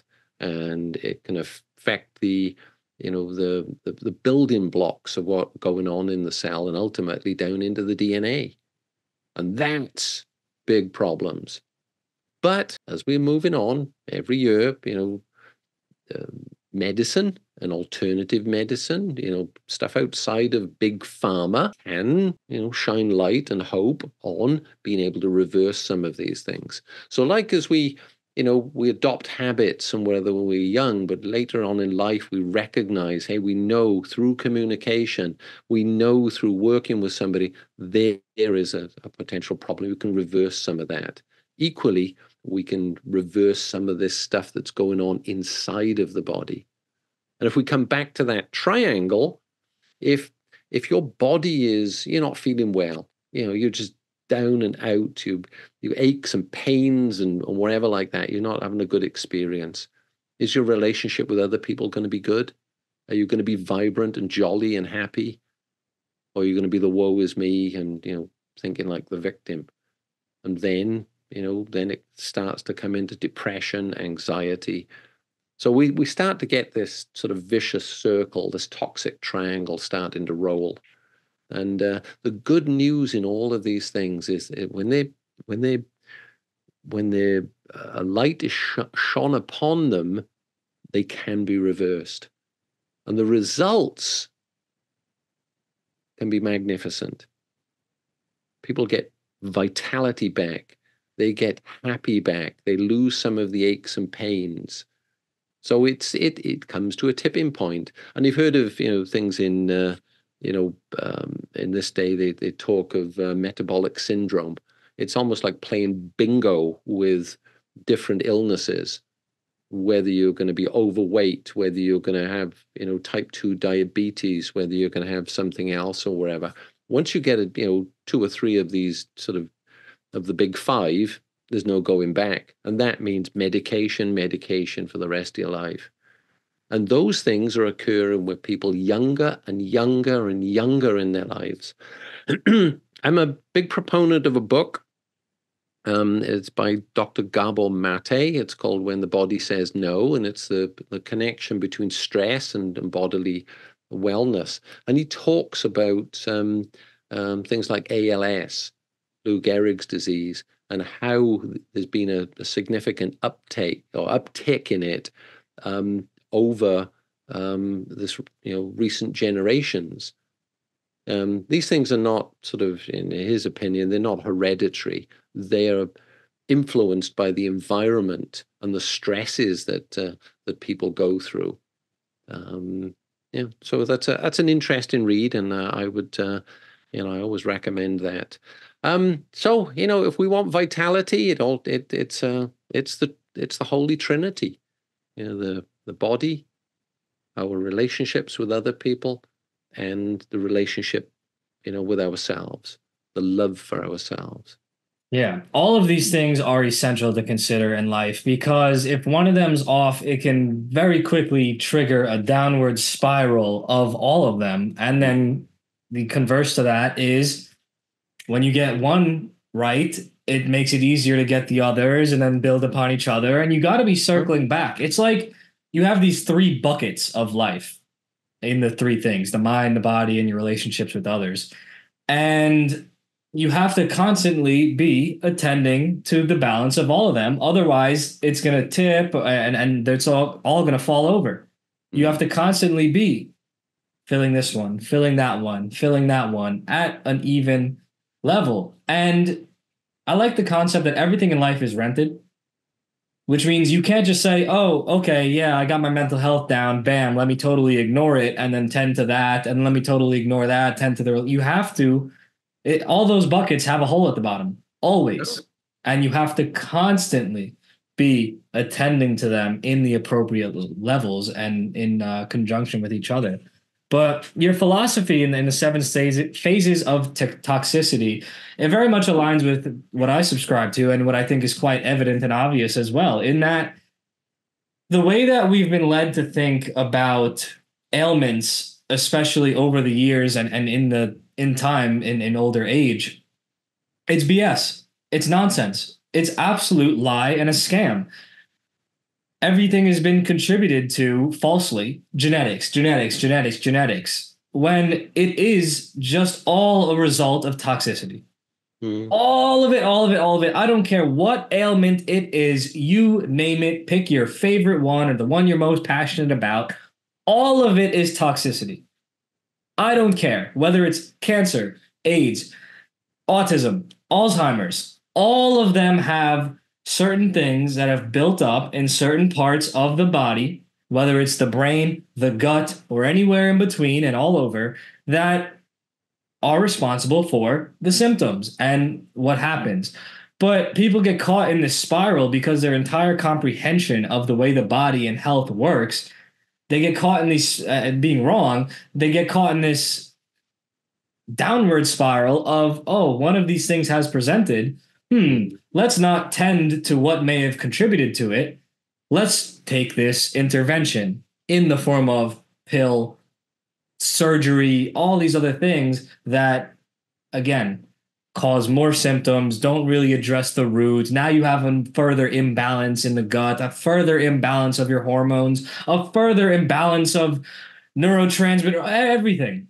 And then more and more things compound and nothing ever gets uh, resolved. And that's why, like you said, there's all these correlations of people getting this ailment and this ailment and this ailment, and they all usually go together because they compound each other. And like you said, it is getting younger and younger and more and more prevalent because the environmental toxins aren't going away. They're only increasing. And the they, quality of food or food like products isn't getting better. It's only getting worse for the average people who aren't able to either financially or because they don't know better do better.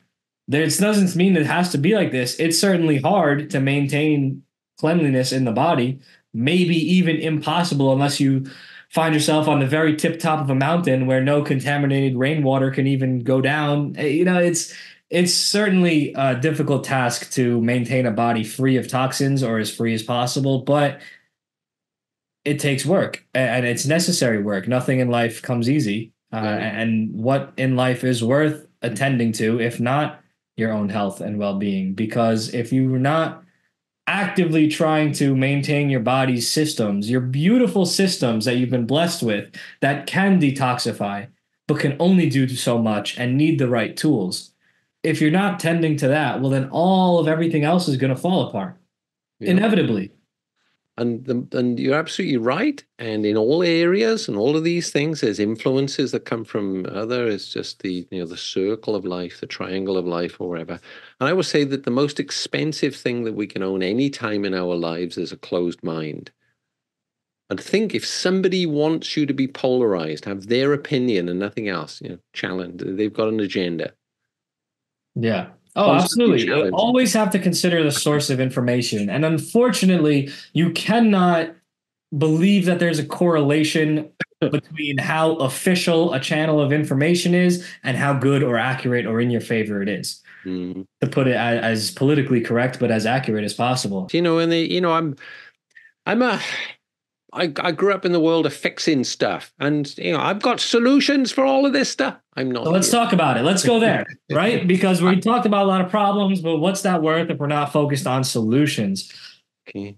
What yeah. are the solutions? Which one do you want to talk about first? What can, and we can you know involve that with what you do, so because you have mm-hmm. solutions that you pitch for all of them, right? So let's talk about what you do and what you pitch. I do, and it's it's um it, it's it's a fine line between you know I, res- I respect what you're doing here. Um, you know, I I love to work with people. I love because I lo- I love to see the impact that they can have using the knowledge that I've gained and and the resources. This is one thing. Positive intelligence. I learned about this, and um, this is a book. Okay, this is all about helping your your mind. These you are the, book or no, no, that's that's something, and uh, this is uh, something called clear drops. Okay, this is for getting stuff out of your body, uh, heavy metals, toxins, molds, mycotoxins, stuff like that. Stuff we accumulate. Now, if we dwell on you know, bad stuff's going to be happening all the time. The one thing in uh, positive intelligence, which is is a culmination of different types of research, and psychology and so on like that. I won't go too much into that. Both of these things came along to me in the depths of it. The gift and opportunity which I've learned to appreciate and and and help others with is to look at the situation and look for that gift, look for that opportunity without jumping to the the condemnation. It's all bad and the the judgment of it all. And two things here that came along to me during one week, deep in COVID, when I was not working. You know, my business was, you know, when you're in a people business, you can't meet with people, then it, it's a, it's a challenge. And uh, and the whole Zoom stuff hadn't really kicked off, you know, as as much as it has now. Um, I had time to think. I had time to gather my thoughts, and I had two conversations. One was about one, one was about the other, and they dovetailed everything that I've been working on over the 10 years previously, they gave it a cement that tied it together. And it's all about knowledge. And it's all about the more uh, information we have, the less fearful we need to be. We can trust ourselves. And once we start, you know, getting scared of what's going on, this is again, I'll come back to this word resilience if we don't have that mental fortitude, that resilience, stress kicks in. Stress kicks in, does damage to the body, does damage to the relationships, and off it goes. We start overeating, eating processed foods. We start accumulating stuff that we need to clean these toxins out. Why? Because they're dragging us further down. And it goes on and on and on. So what, I what I what came, you know, I, I grew up in a little village in in Wales, and it's almost like a, yeah, I know, a subset of Missouri. Show me state. Prove it to me. So I had time to to to to to research these things. But what was for me, these subjects weren't strange. I'd learned about them previously, but they came back in a refined form with a different messenger. So I would urge anyone that, you know, coming back to the whole mind, you know, keep it open or whatever, it might not be the right messenger. There might be somebody listening here, you know, oh, I don't like what they're saying there. Don't don't look at the the messenger, look at the content, think about it, go research it, go stimulate it. you know, um, you know, marinate it or whatever. If there is a problem, we all have innate sort of ways of uh, of solving problems once we get into the you know the habit of of knowing the right questions to ask. I used to work for a German company, and uh, I was, oh my goodness gracious, the the amount of products they had and whatever. And the big boss told me this one time. He said, "Oh, you know, what do you think?" I said, oh, "I'm going back to my old company." I said, "He said why?" I said, "There's too much to learn here." He said, "Ah, don't worry. You don't need to know it all. You just need to know where to find it." It's like going to the library. Know the questions to ask. Trust yourself on that.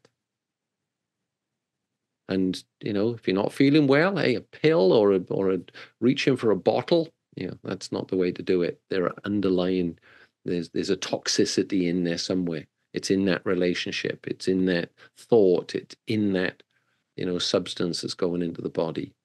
So yeah, it's it's important not to get caught up on all the bad because there certainly is a lot of it. There certainly is a lot of things to be upset about. There's certainly a lot of things to, you know, that one could fall into a state of fear about, whether it's you know what's going on in this in the world here, there, everywhere, or even around me. You know, there might might be a lot of bad stuff uh, going on that uh, are harmful. Mm. But stewing in that and marinating in that is going to kill you even faster than those things themselves will kill you, right? Yeah. And, and so I promote having a, a, working level of conscious awareness of what's going on in the world, so, but uh, specifically about, about what's going on around you. I think media has allowed people to know too much of what's going on in areas that have zero effect on them. And hmm? of course, we could say all things have an effect on humanity, so all things trickle down. And if it happens in one place, it could happen here. So let's know. But ultimately, what makes the biggest difference to think about is what can I do right now? Yeah. To improve my scenario. Okay, this is what I'm looking at. These this is the board of life as it sits in front of me. These are my circumstances. These are the pieces that I have to work with. How can I arrange them to create an optimal solution or, or an optimal experience moving forward. And that itself is a whole umbrella. What and so you touched on that one product for the physical side of things, and you could certainly go into that. Uh, let's talk about the physical side. What is something actionable that someone could do now to start to try to get their body right?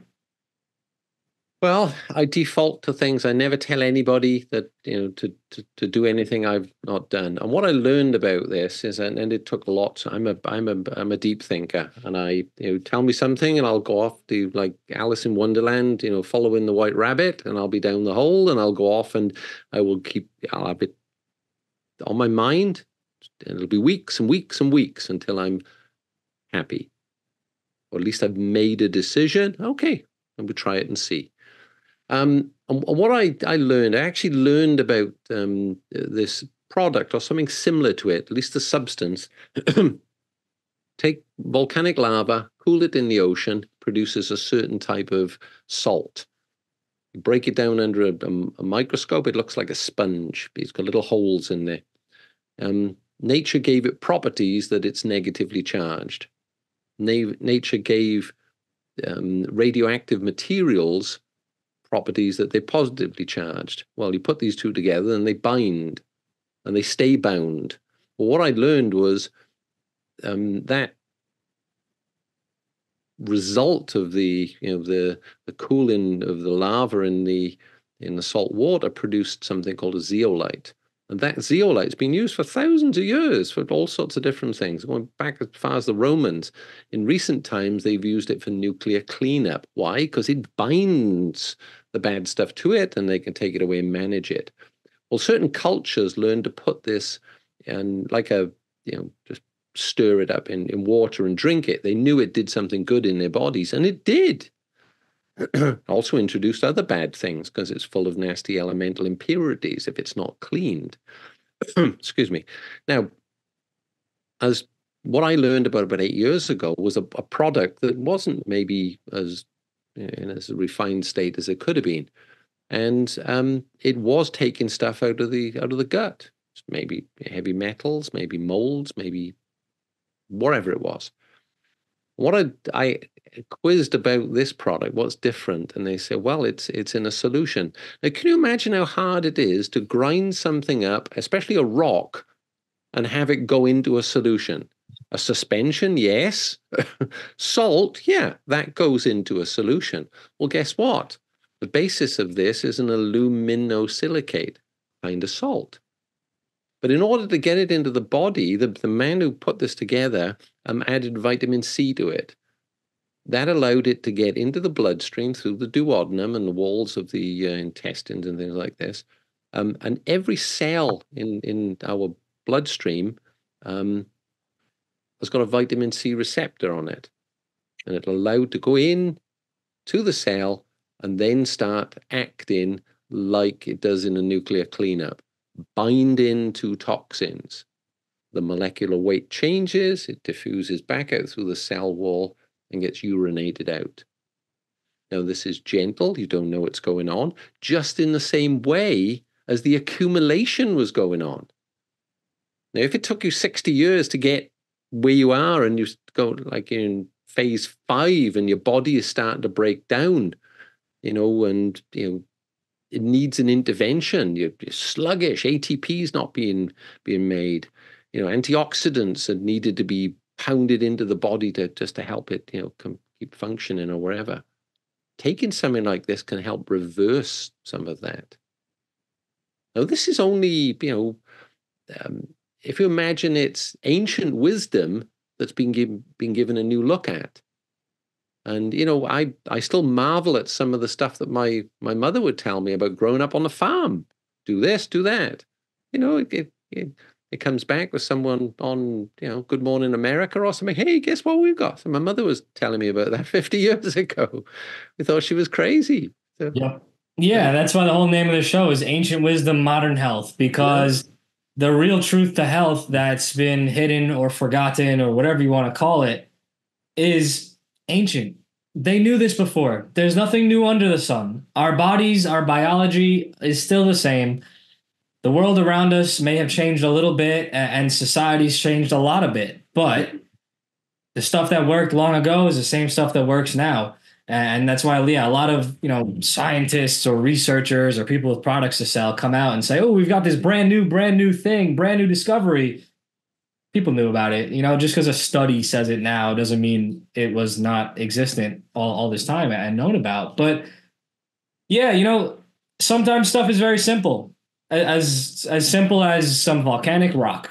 Yeah, very good for you. You know, we, we don't need all these crazy synthetic, uh, synthesized, you know, so-called solutions. Sometimes you just need some good old volcano rock, right? yeah, some good old volcano. Rock but don't get me wrong, I I I, I love the doctors. If if um if I got my hand caught in a lawnmower, I'm first place I'm going is a doctor in a hospital. You know, yeah. but the, you know, and you're right. There's nothing new under the sun. But sometimes in in the way people are taught things, for for for certain reasons, certain stuff isn't taught. Okay, so if we you know, we're in an age of, of enlightenment now. We're, we're moving into the, as I would call it, the, the next industrial revolution. Mm-hmm. It's all about information, all about data, and you know, um, you know, um, it it's exciting times to be in if we embrace it. And this is why look at what people are showing you in front of you, and and and question it, evaluate it, then make a decision and try it. If it's not for you, hey, it's not for you. So yeah, um, I think I think we're coming out of uh, coming out of the informational dark ages.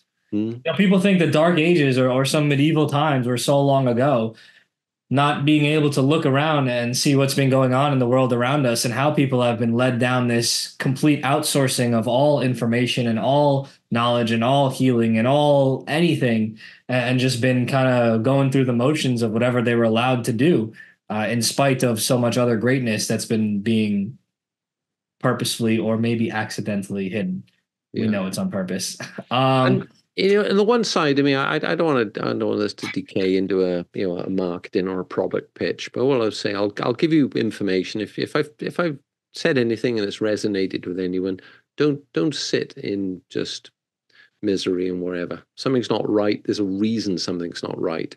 And so often, as you said, it can be very simplistic. It can be ancient wisdom. And um, um, I'll one thing that I always always use about you know the power of the mind or whatever is a, a Chinese proverb, and it says that if you're depressed, you're living in the past. If you're anxious, you're living in the future.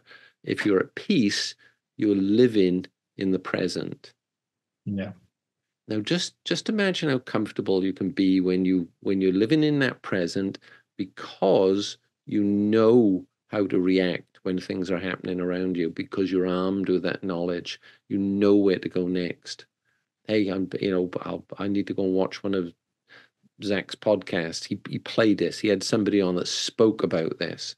Let me just go check it out. Not to just discount things. And, and if one thing is in supply in this day and age is trust. People don't trust themselves. They don't trust those around them. They don't trust the ones that work them. They don't trust the media. They don't trust this. They just trust ourselves. Go with your gut. The inexorable connection between what goes on in your gut and what goes on in your mind. Hey, go off and read up about that. There's more and more coming out than saying that these two are tightly connected.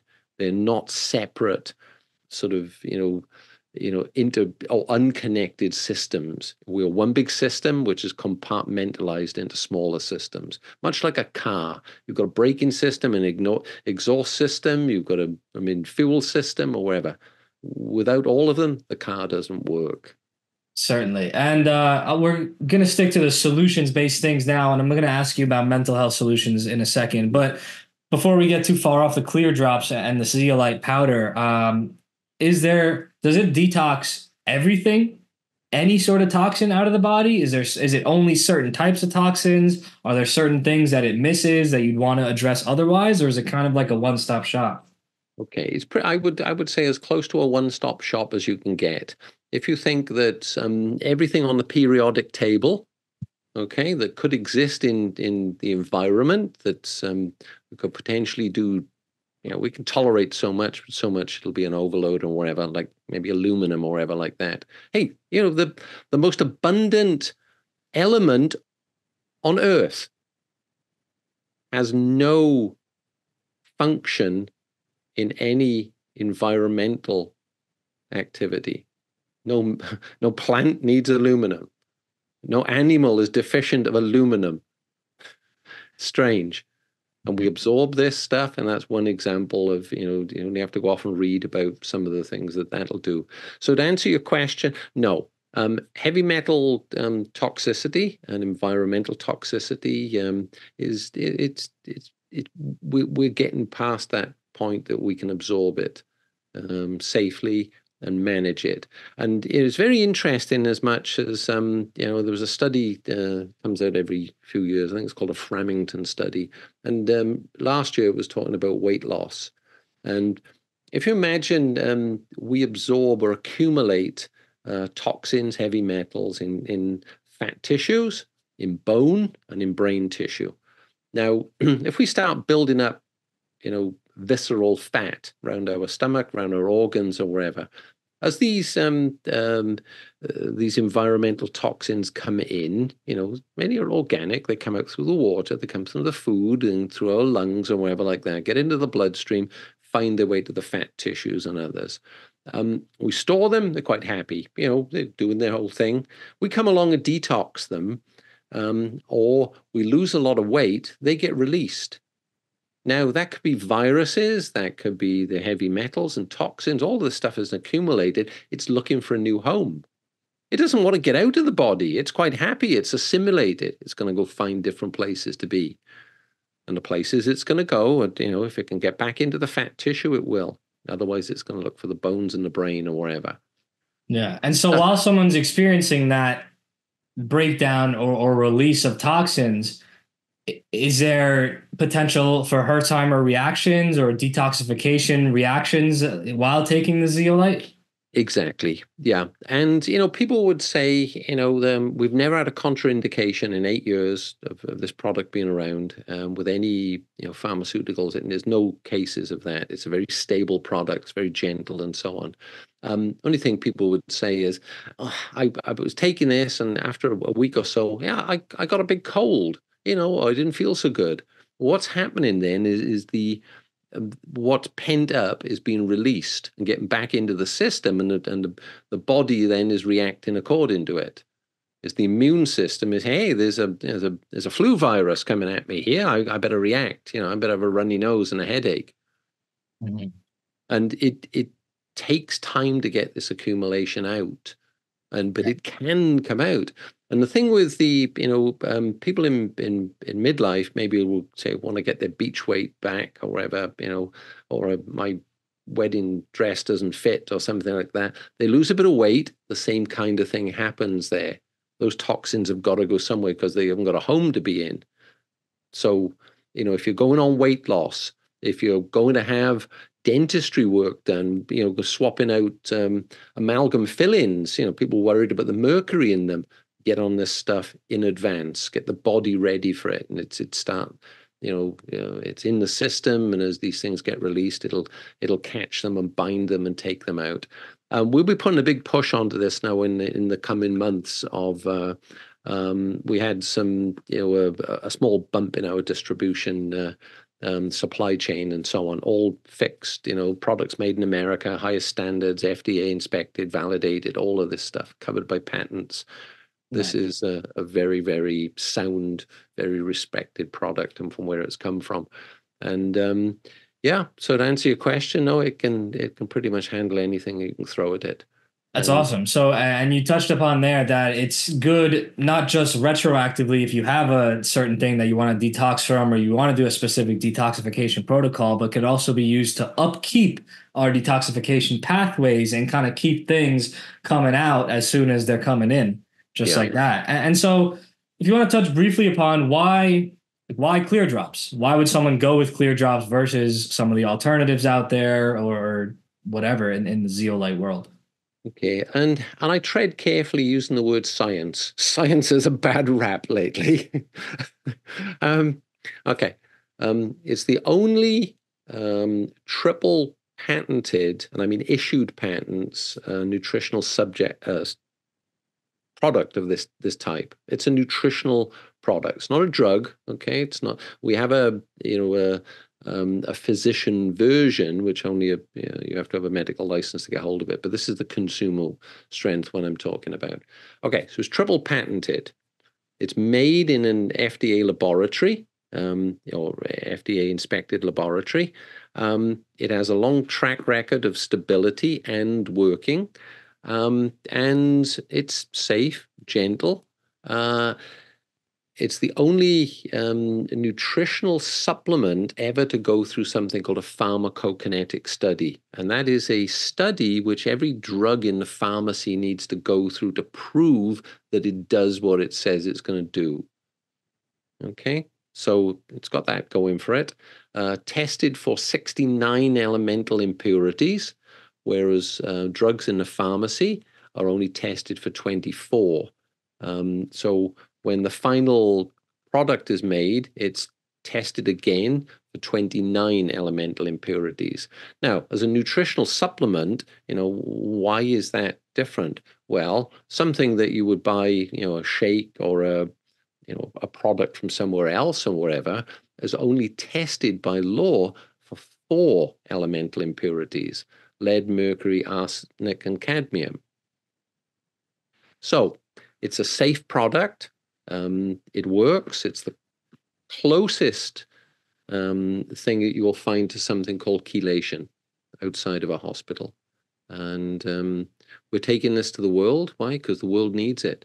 Um, with plenty of, of, of sort of experience behind it that, it that it's worked. Okay, we can we have papers and studies that um, we'll be sharing a bit more. You know, uh, we're all about science. We never make claims. Um, it's it's almost like the Wild West. It's almost like the CBD world was a few years ago.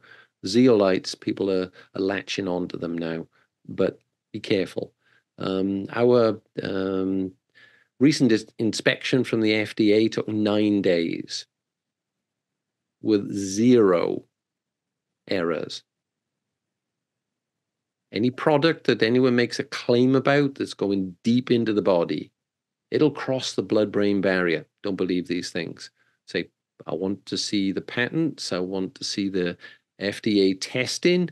Um, and you know, um, I if people want to get in touch with me, I can share this. I can you know give you information you can place out there. Um, it's all out on our website. You know the the FAQs, um, backed by patents, backed by studies, backed by you know um, um validations, backed by anything you can imagine. You know, you know, I wouldn't put my name and reputation behind anything until I was positive that uh, it was worthy of it. And um, this will this will be my future. That's awesome. And so there's a great solution for the physical side of things. What about the mind and relationships? That's where your coaching solutions come into play, right? So yeah, what are the kind of things that you're doing to help people improve their mind and relationships? What are your solutions? Okay. Um, I mentioned earlier. Let me uh, let me come off the um, take the uh, the chat off, and I'm probably you know I'm a I'm a really good bookseller for people. Okay, um, positive intelligence. Okay, why only twenty percent of teams and individuals achieve their their true potential? Well, um, what this is about really is is coming back to the what I mentioned earlier about what Aristotle said. You know, um, give me the child for seven years. Um, I will show you the man. And um, the gentleman behind this um, is a uh, was a, a, Stanford professor and researcher, and um, he had his own troubles in his life growing up. And this is what the book is ostensibly about. Um, but he took a, a, a, point in time where he went into research and he, he, he, looked at what was going on in, in the field of neuroscience, cognitive behavioral psychology, performance science, and, uh, and positive psychology, and then added in his own positive intelligence studies in here. And I'm talking, you know, a half a million people going through his sort of uh, assessments and wherever and collating a lot of information. And then um, doing things called factor analysis, which were big mathematical problem solving things to look for, for cause and effect between, you know, people answered this in a certain way, how many people, you know, hundreds of thousands of them also answered that way. And what he came out with was um, uh, we've all heard of character traits. Okay, these are these are behavioral things that we have, whether it's emotional or whatever. And I mentioned earlier, it's all about the storyteller. I'd read some books on psychology in the past, didn't resonate with me. Well, I learned about this and how um, easy it was to adopt, and if you imagine it's a thing like an operating system, and the operating system says, let me use an analogy Star Wars. We've got Darth Vader, and he's got all these guys in white, which are the stormtroopers. They are over on the one side of the uh, the fence. We've got Yoda, little Jedi, comes along, and he's on his own.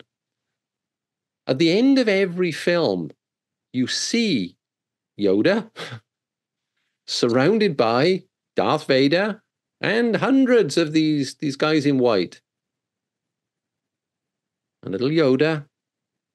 He looks, and you can see a little bit of panic on his face. Takes a breath, gets composure, turns his lightsaber on, takes care of them all. And this is this is the you know the the storyline under um, positive intelligence. If you imagine Darth Vader, he's this nasty voice that we've we've learned to uh, uh, listen to as we've grown up. What's been going on in our formative years? This is the way we think. This is the way we start to react. And we've we we got between six and sixteen thousand thoughts going on. We judge situations, we judge people, and we judge ourselves, you know, according to those thoughts. So Darth Vader pops up, says, "Malcolm, you stupid. You've done that, and you shouldn't have done. it. You you knew better, or whatever. Hold on a moment. I'm going to go get a buddy of mine." And he goes along and he brings on one of the stormtroopers. And there are nine of them. They're called the saboteurs. And each of those, the saboteurs, specializes in something that can add to my anxiety, add to my sense of victimhood, add to my sense of hyper achievement. I've done this. Hey, I no, I don't need to rejoice and you know I've achieved my goal. I got to push on because people are watching me. My ego kicks in or whatever. So he's got that you know, uh, nine characters there that are all sort of reinforcing his message. And then over on the um, you know, poor old Obi Wan Kenobi or, or Yoda, you know, all on their own. What have they got? Well, they've got five superpowers as well as a lightsaber. I suppose they're packed in there. Empathy, exploration, innovation, the power of navigation, and the power of activation. And all of these kick in, and it's a process that we think of. And coming back to that pressure in my chest, I get a thought. The longer I dwell in that negativity, the longer the, the stress remains in my, my chest. It's almost like putting my hand on a hot plate. For a second, it's a warning. For two, three seconds, it's doing damage to my tissues, burning my fingers. The same analogy there is. So we teach a um, a positive intelligent process of when you recognize that things are going on, the judge, the saboteur comes in, you react, you recognize it, and you basically short circuit the impact that those saboteurs are having on you by um, analyzing the situation you're in. And the more you do it, the quicker you go through. All right, do I need to give myself some empathy here? You know, or is it the person in front of me? I wonder what kind of day they've had.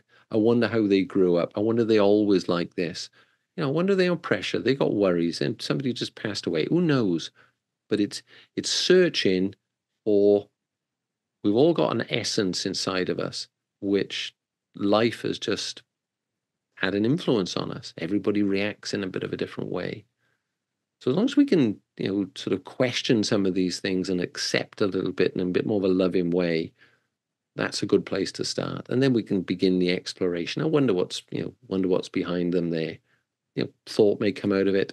We don't need to use all five superpowers. It's wherever, you know, uh, situationally uh, uh, astute, but at the end of it, it's it ends up with that action, that turning the, the lightsaber on and getting to work. And yeah. when I listened to this, I thought it was foo foo. I absolutely thought it was Californian nonsense. and it it went from woo woo to woo hoo. I can say. Yeah. I think more and more people are realizing that what's been kind of mocked as woo woo or silliness or whatever word you want to put on it that they've used to talk about, you know, emotional or, or metaphysical things. More and more people are, are realizing that there is some credence to a lot of it. But I, I were you finishing that sentence there? Yeah, but it's how the message is delivered, and we all learn in different ways. We read, we we we listen to people, we learn by example. You know, um, we've got apps. It's it's gamification comes into it. It's accountability. It's audible stuff. It's reading. It's experiential things. You know, somatic. We we all learn in different ways, and you know, I whether it's people like um, can say what's the guy's name now. Ah, one thing. I've got his book sat there. Went to see him in in Atlanta. It was hearing a lot of the same things, but the message just resonated when it came from Shirzad Chamine. So much as I, you know, I went through the program, I've taken other people through it, you know, dozens and dozens now. I went off, I got certified, became a coach, and it's just beginning for me. I'm no black belt. The originator is no black belt. It's a work in progress, much like that detox. So when you draw the analogies, I'm detoxing my mental processes. I'm taking the bad out, I'm bringing the good in. I'm, this is manifested in relationships because I know how to react to people in front of me. That's so, amazing. So and so through your work with people, you get to the root of which of the common unhealthy habits or behaviors or inner thought patterns might be present in them you get to the bottom of where that might be coming from and, and then how can we correct those unhealthy habits and so how exactly does that process work are you working one on one as a coach with someone? Are you working with whole teams like in a business? Do they do you give out your information in person? Can you work virtually? Is it that you said you have an app? So can people just work at their own pace in the app? What does the process of working with Malcolm look like? All of the above. Um, experience shows that um, we retain things more when working in a in a pod. You know, a maximum of five, six people. Um, I do a lot of one-on-one stuff. You know, executives, for example, you know, team leaders sometimes are a you know, hesitant to demonstrate the vulnerability to a team. You know, and the the corporate world has changed, the landscape has changed, and management styles haven't changed. It's very much more collaboration. Vulnerability is a power for any manager, any leader to exhibit. If you imagine somebody that's built a business on their own or wherever that uh, has done everything themselves, and then they're sitting in their office wondering what to do next and wondering why they got to where they are, they have an imposter syndrome they don't communicate well. They expect different things off different people. So, all that being said, in working with Malcolm is we get to the root using specific tools like a saboteur assessment of where these character traits, where these saboteurs are rising to the top. Going back to the the formative years, what experience was like in school, those saboteurs are the protectors. They are some of our strongest and, and best characteristics, but they're being overused. They don't know when to turn off. So sometimes there's a case to say, hey, shut up. You had your time. Okay. There is a different way because I've learned, you know, how to handle myself and react you know, uh, and anticipating the behavior of those saboteurs. It's a absolute power. It's like taking your taking your your your mind to the gym as opposed to taking your biceps and your and your quads.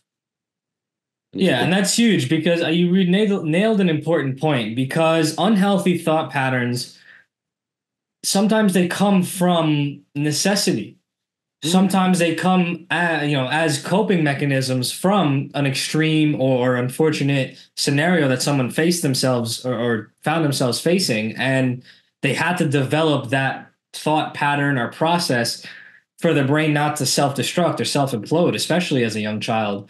But when the aggressor or the aggressor situation is gone we need to know how to recognize that thought pattern that developed and say hey that no longer serves me and is actually only going to harm me. So that's a that's a really good way to go about it. And and, remember so I'll, I'll, just excuse me cutting you off here. Yeah, remember yeah. i said if you're depressed you're living in the past.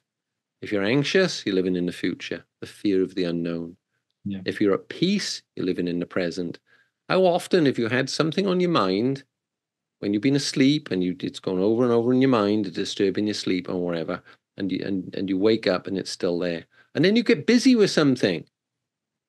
You don't worry about it. You're in the zone. Yeah. So what we want to do is bring people back into that zone, and we call it the it's the it's the sage way of ease and flow. Um, I'll, I'll, I'll open an invitation to you. Give me 40 minutes. Go through this. It'll shine a light in a couple of areas. You know, it'll go from the woo woo to the woohoo.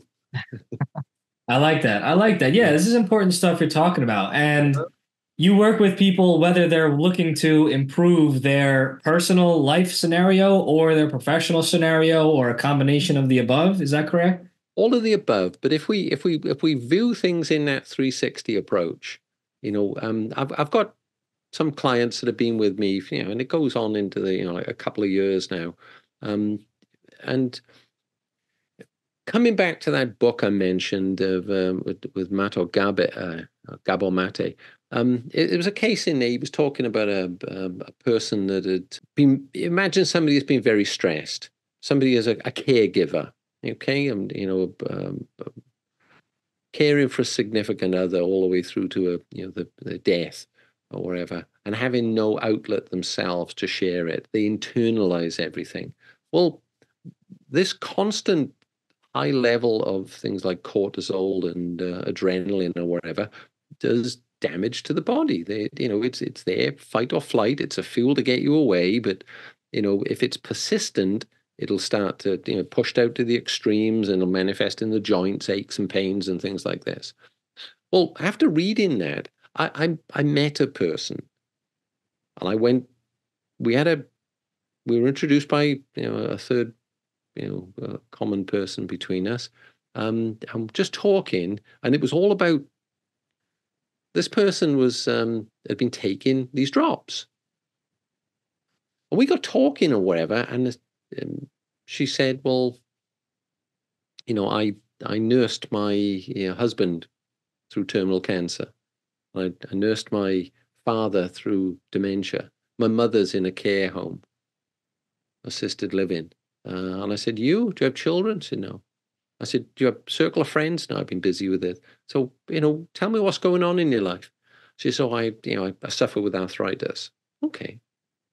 So we made a couple little changes, and it, it, you know, she agreed. You know, she yeah, I'll I'll go through the assessment with you, and we we could see where a lot of what she was going through she'd been internalizing. She was an absolute caregiver, and it really reminded me of this book. And you know, by the grace of God, she's stuck with me over this last you know year, eighteen months, making no claims of cures or anything. But when somebody says the recommendations you've given me, I've, I've, I've changed my dietary habits a little bit. I'm still taking these drops. I'm I'm doing the app every day. I'm doing the mental, you know, fitness exercises. Guess what? I haven't been to the pain clinic for a month for an injection. Something is working. Yeah. It you go cold when you hear that because others um, are benefiting from what you are the, the the the footprint that you're leaving in the world and I, I've I've got multiples of others that have, have gone through this program with me and stayed. And what they want to know is, hey, can you tell me about the other side of the triangle? I don't push it. I don't whatever. They they they're inquisitive. Tell me about the other side of the triangle. I'm struggling in my relationships. I don't feel as vibrant as I used to. It's powerful stuff. Very powerful. And, so, if someone wants to experience something like that uh, person experienced and they want to get in contact with you, they want to check out the clear drops, they want to check out the uh, programs, where can people go? Well, what are the what are the websites people can go to? Should they go directly to the app? What's the name of the app? Where okay. can people find Malcolm that they want to work with you? I think what I'll do is I'll um, I think I send a, couple of bits of information, but I'll I'll send you some um, uh, discrete uh, web links and uh, my information where they can check me out. And I I got nothing up my sleeves apart from my arms. Um, um, you'll find me on the web as mycoachmalcolm.com.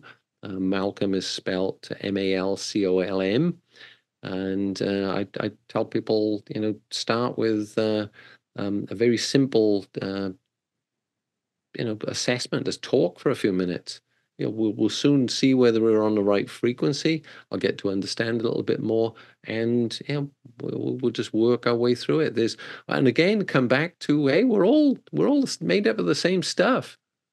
We're just being influenced in different ways at different times in our lives and uh, you know um, again we we and it, you know i I cut my hand a, a, week or so ago. Okay, I go, oh, I mean, I put my hand on the, you know, metaphorical hot stove. Stupid Malcolm. Okay, I noticed yesterday. Oh, it's gone. It's cleared up. That's my body self-repairing, regenerating. There's nothing that we can't do if we put our mind to it, and there's a lot of things that we can do if we just be the enabler I didn't, I couldn't will that cut to repair itself. But I gave my body the right building blocks it needed to, to continue doing the job on my behalf.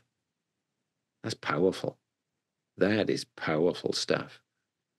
That is very powerful. And normally I ask my guests if there's any one particular message that they'd like to leave off with. That was beautiful itself. So if you'd like to make that the last thing you say, by all means. But I will also ask you is there a final message that you'd like to leave our listeners and viewers off with? It's difficult. You're doing it wrong. If you're not getting the results you want, something is missing. Talk to somebody, talk to a coach, talk to um, a medical practitioner, talk to a lot of people, and go the direction you are comfortable with. And coming back to that final thing is the most expensive thing you can own at any time in your life is a closed mind. The age of enlightenment is upon us.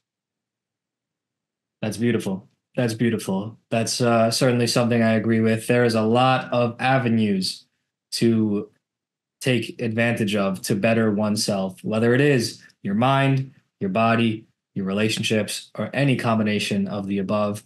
And I certainly think that Malcolm's avenues that he's mentioned today, whether it is working with him one on one, whether it's the physical detoxifiers he's mentioned, they all sound worth exploring to myself. So I really hope the viewers take what he said tonight to heart. And I really hope everyone uses this information to better themselves. Yeah. I'll, Malcolm. I'll send you a, a QR code and wherever. And I've, I put a, a little book out there, wrote a little book on mindfulness which I encourage everyone to have a have a space and have a time in your day, you know, think and you know, take a breath, slow down. And uh, this has been a pleasure, Zak. Um, you know, um, I would love to reciprocate and have you come on to uh, my humble podcast, you know, the Toxic Triangle, and uh, and yeah, share your message out there as well. And I'll uh, I'll give you some contact information. And uh, yeah, this is we're in exciting times. It's like I, it's like I'm like a kid in a candy store. yeah, there's a lot of lot of good stuff going on. You know, there's a lot of good people connecting, like yourself and myself. Definitely, any listener viewer, check out his podcast as well. It was called the what was it called? Uh, the Toxic Triangle. That's the name of the podcast. Yeah, you can also get to it at the at the podcasting pig. The podcasting pig or the yeah. Toxic Triangle, both names it goes by. It, Yeah. Malcolm, I would love to collaborate further. For now, our episode is done. Thank you very much for coming on the show, my friend. Likewise. Okay, enjoyed it. And just like that, episode 11 comes to a close. You are listening to The Health King's Court Ancient Wisdom, Modern Health. Stay tuned. Be sure you are subscribed to the channel because there are many episodes coming your way as quickly as I can edit and publish them. A big thank you goes out to Malcolm for participating in the show. It was an absolute pleasure to chat with him. He's a very intelligent man with a lot of very interesting and good things to say. So please comment below what you thought of the episode. Did you enjoy it? Did you hate it? What did you think? Whatever it was, let us know in the comments. As always, tell your friends, ZakTheHealthKing.com.